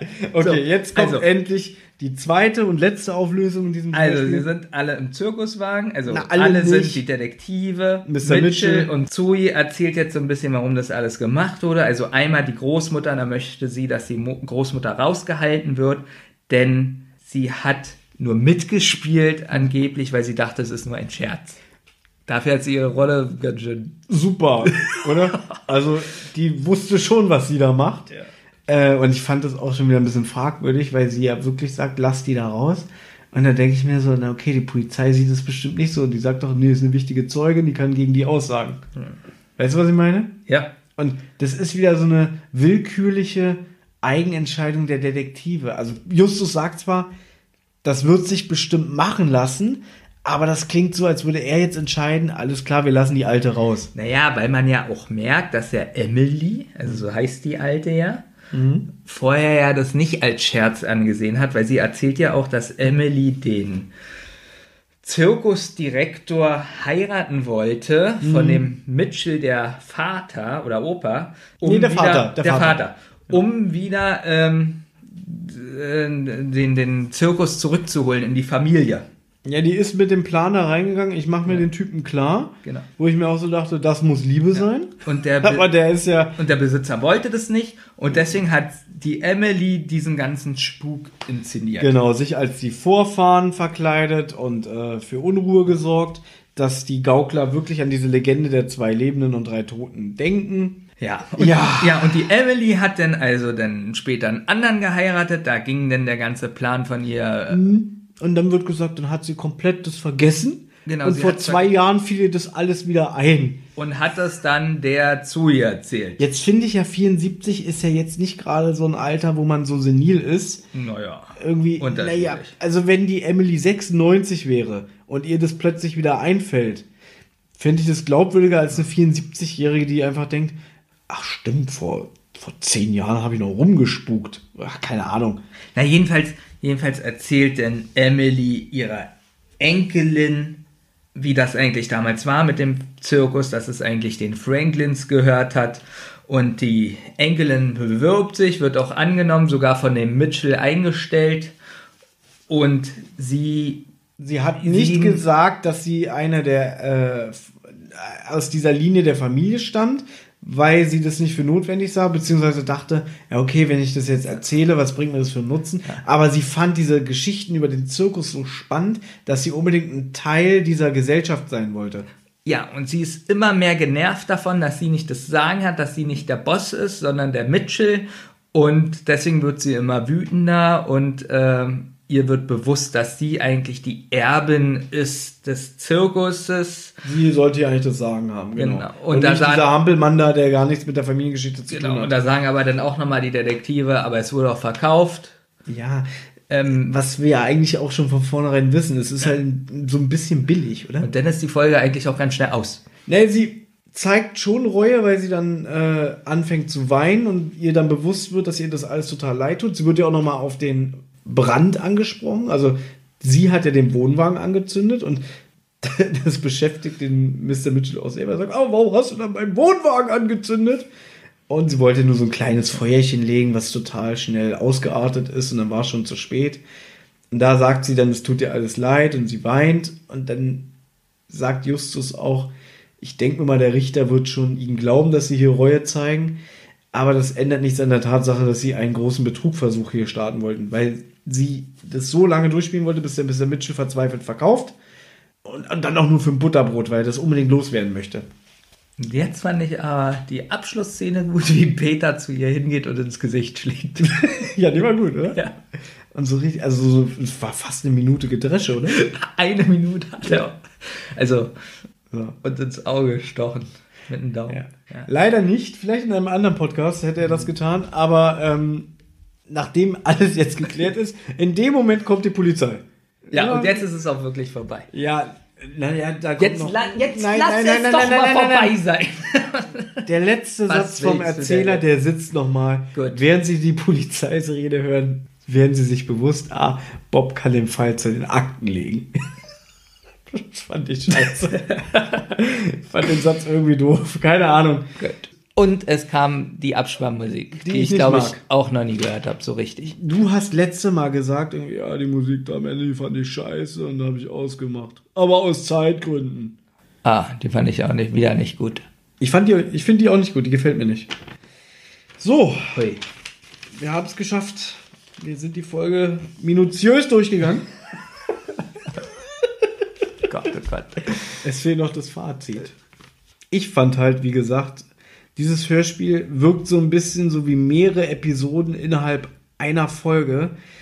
Der Überfall auf den Glatzkopf, dann die Vorstellung mit dem Hündchen, der ganze Anfang mit dem Littlehorn, der da irgendwie sein Leid klagt und dann da seine Vorstellung macht mit dem mit der Erde, die in die Sonne stürzt und so weiter.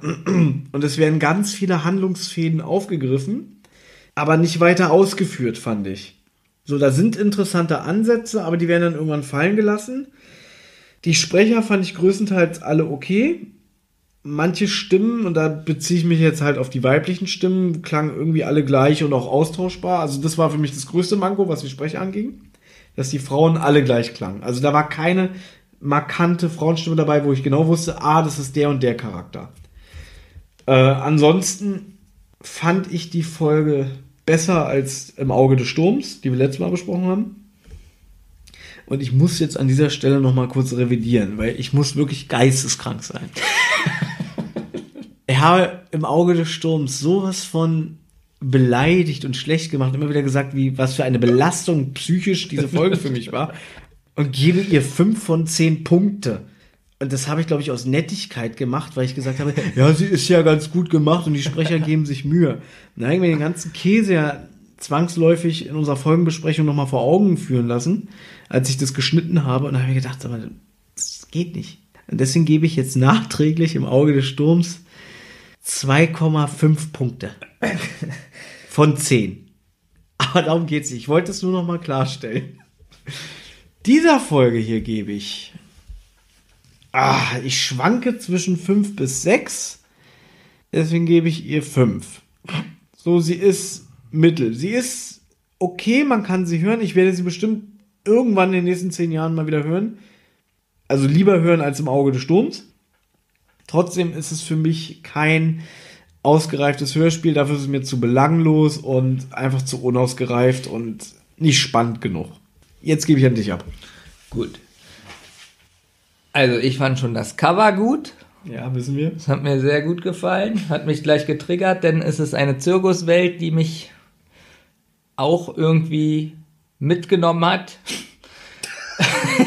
ja, du lachst. Wohin denn? Du lachst. In meine Traumwelt. Und ich fand die Folge auch unheimlich. Also ich muss sagen, ich fand sie unheimlich spannend. Man kann sogar die beiden Wörter zusammenführen. Unheimlich spannend. Ähm, ich finde ein bisschen schade, dass Littlehorn, also ich mag ja seine Stimme und so, dass er eigentlich zum Schluss gar nicht mehr da war, auch bei der Auflösung, dass er gar nicht mehr mit den Detektiven gesprochen hat. Fand ich auch schade, dass der irgendwann komplett verschwindet. Genau, wahrscheinlich kein Geld mehr gehabt, ihn zu bezahlen oder was, keine Ahnung. Ich fand die erste Hälfte wirklich sehr atmosphärisch. Ich fand auch die Musik passend. Ich fand die Geräusche gut. Ja, die zweite Hälfte hatte dann ein bisschen was von im Auge des Sturms, was so die ganze Auflösung angeht. Ähm, so verworren. Warum muss es die Enkelin sein und davon dann die Enkelin. Also, das ist alles so. Ja, um diesen Zeitrahmen, diesen Spagat. Ja, das ist aber so. Man kann das alles leichter machen. Warum immer so. Man könnte so ein bisschen was rausnehmen, um es für dich begreiflicher zu machen. So muss man immer wieder nachdenken. Moment, das war ja die äh, äh, Generation. Und dann musst du nochmal 40 Jahre weiterdenken, dann ist es wieder eine neue Generation. Ja, das ist wirklich, sowas nervt mich so ein bisschen. Ähm, denn der ganze Schluss, was wir eben zum Schluss hatten mit der Klippe und so, wo nochmal Spannung erzeugt werden sollte, das war das Unspannendste der ganzen Folge. Aber es war nicht das Schrecklichste. Das Schrecklichste ist eigentlich diese Auflösung mit dem Gasfeuerzeugtypen, der den Glatzkopf beauftragt hat, dass er sich von ihm bestehen lassen könnte. Ja, dass da dann noch mal ja. ganz kurz so ein Typ ist, der so ein bisschen wahnsinnig ist, der in die Gruppe ja, mit aufgenommen werden will. Das passt nicht in diesen ganzen Aufbau rein ja. mit, den, mit der Legende. Warum redest du eigentlich in mein Fazit? Weil mir das gerade noch mal eingefallen ist. Nein, aber du hast recht. Auch was du gesagt hast, als die Auflösung kam mit der Zui. Ich musste in meinen Aufzeichnungen gucken, wer Zui ist. Habe ich gerade gemerkt. Weil, weil ich die Stimme nicht erkannt habe. Ich habe die Stimme nicht erkannt. Wer war denn das jetzt? War das die Wahrsagerin? War das die äh, mhm. mit, der, mit, dem, mit den Süßigkeiten die Frau? War das äh, die Clownin? Ja. Ähm, fand ich doof, weil man hat ja gemerkt, dass in ganz vielen Folgen, in ganz vielen Folgen, in den paar Folgen, die ich bis jetzt gehört habe, wirklich sehr gute Frauensprecher auch da sind. Warum müssen die alle auch so gleich alt sein? Mhm. Fand ich merkwürdig. Es sticht halt keine mit ihrer Stimme heraus. So, um das jetzt abzukürzen, ich gebe der Folge sieben Punkte. Leider war der Schluss wirklich nicht so toll, sonst wäre es sogar wieder Gockel auf einem Level. Also 8,5. Wow. So nur 7. Und ich weiß, dass das fast keiner verstehen wird nach den Amazon-Wertungen. Aber ich finde es witzig, dass du so eine Folge, die ja wirklich jetzt brandneu ist, so gut fandest. Naja, vergleich das doch mal mit dem Phantomsee oder Du halt dein Phantomsee. Also, ich kann doch langsam das Wort Phantomsee nicht mehr hören. Also wirklich. Dann lieber Gockel. Ich will jetzt keinen Vergleich mehr hören. Ich will jetzt keine Geschichte hören. Stell dir mal eine Welt vor. So, du nimmst das das will ich jetzt nicht hören. Ich Stell weiß. dir mal- stell nein, dir nein, mal- komm, komm, komm. Es ist spät. Wir hören jetzt auf. Eine Sache nur an die lieben Hörer. Stellt euch mal vor. Stellt euch mal vor. Nein, ich möchte das doch einmal sagen. Diese Folge wäre Folge 5 gewesen und der Phantomsee würde jetzt erst rauskommen. Ich sag euch, ihr würdet sagen, Mann ist der Phantomsee verworren, versteht kein Mensch. Warum ist der Phantomsee nicht so gut wie der Gaukler? Ich glaube, wenn der Phantomsee jetzt nochmal neu erscheinen würde, wäre er schlüssiger, was die Logiklücken angeht, die ja so herausstechen bei der Umsetzung. Aber durch dieses ganze fehlende atmosphärische der alten Hörspiele fände ich die bestimmt langweilig umgesetzt. Die Folge war sehr atmosphärisch. Fand ich nicht, also mich hat sie nicht vom Hocker gerissen. Ähm, Ich sage nicht, dass sie komplett schlecht war. Sie hat so ihre Momente, aber mir fehlte am Ende so ein bisschen der Reiz. Ich fand sie ein bisschen langweilig dahingebrabbelt. So, wir hören jetzt auf. Ich habe jetzt keinen Bock, nochmal eine Folge jetzt in nächster Zeit zu besprechen mit dir aus diesem 190er-Zyklus. Entweder es wird ja langsam mal Zeit für eine Sonderfolge wo wir mal über was anderes als drei Fragezeichen sprechen. Wir möchten nämlich auch hier mal über andere Hörspielserien sprechen, so zwischendurch, mal als kleine Abwechslung. Oder wir sprechen mal wieder über eine alte Folge. Ich möchte jetzt gerne mal wieder eine richtig alte Folge hören. Ich denke mal, jetzt habe ich so langsam so ein Gefühl. Ja. Und mich würde mal interessieren, ich habe ja jetzt so die ganze Zeit diese modernen Stimmen im Kopf von den drei Detektiven, ob ich jetzt merke, dass sie extrem jünger sind bei einer alten Folge. Weißt du, was ich diesmal machen werde? Ich Nein. werde die alte Abmischung hören und die neue. Schaffst du nicht. Warum? Aus Zeitgründen, sage ich. Ich sag, du schaffst es nicht. Würde mich natürlich freuen. Ich sage das jetzt so ein bisschen provozieren, um dich anzuspornen, damit du es mal aus trotz machst. Aber ich sage, du schaffst es nicht. Na, mal schauen. Wir wünschen eine gute Nacht Gute Nacht. und hören uns das nächste Mal bei einer Folge die Zentrale. Düm, düm.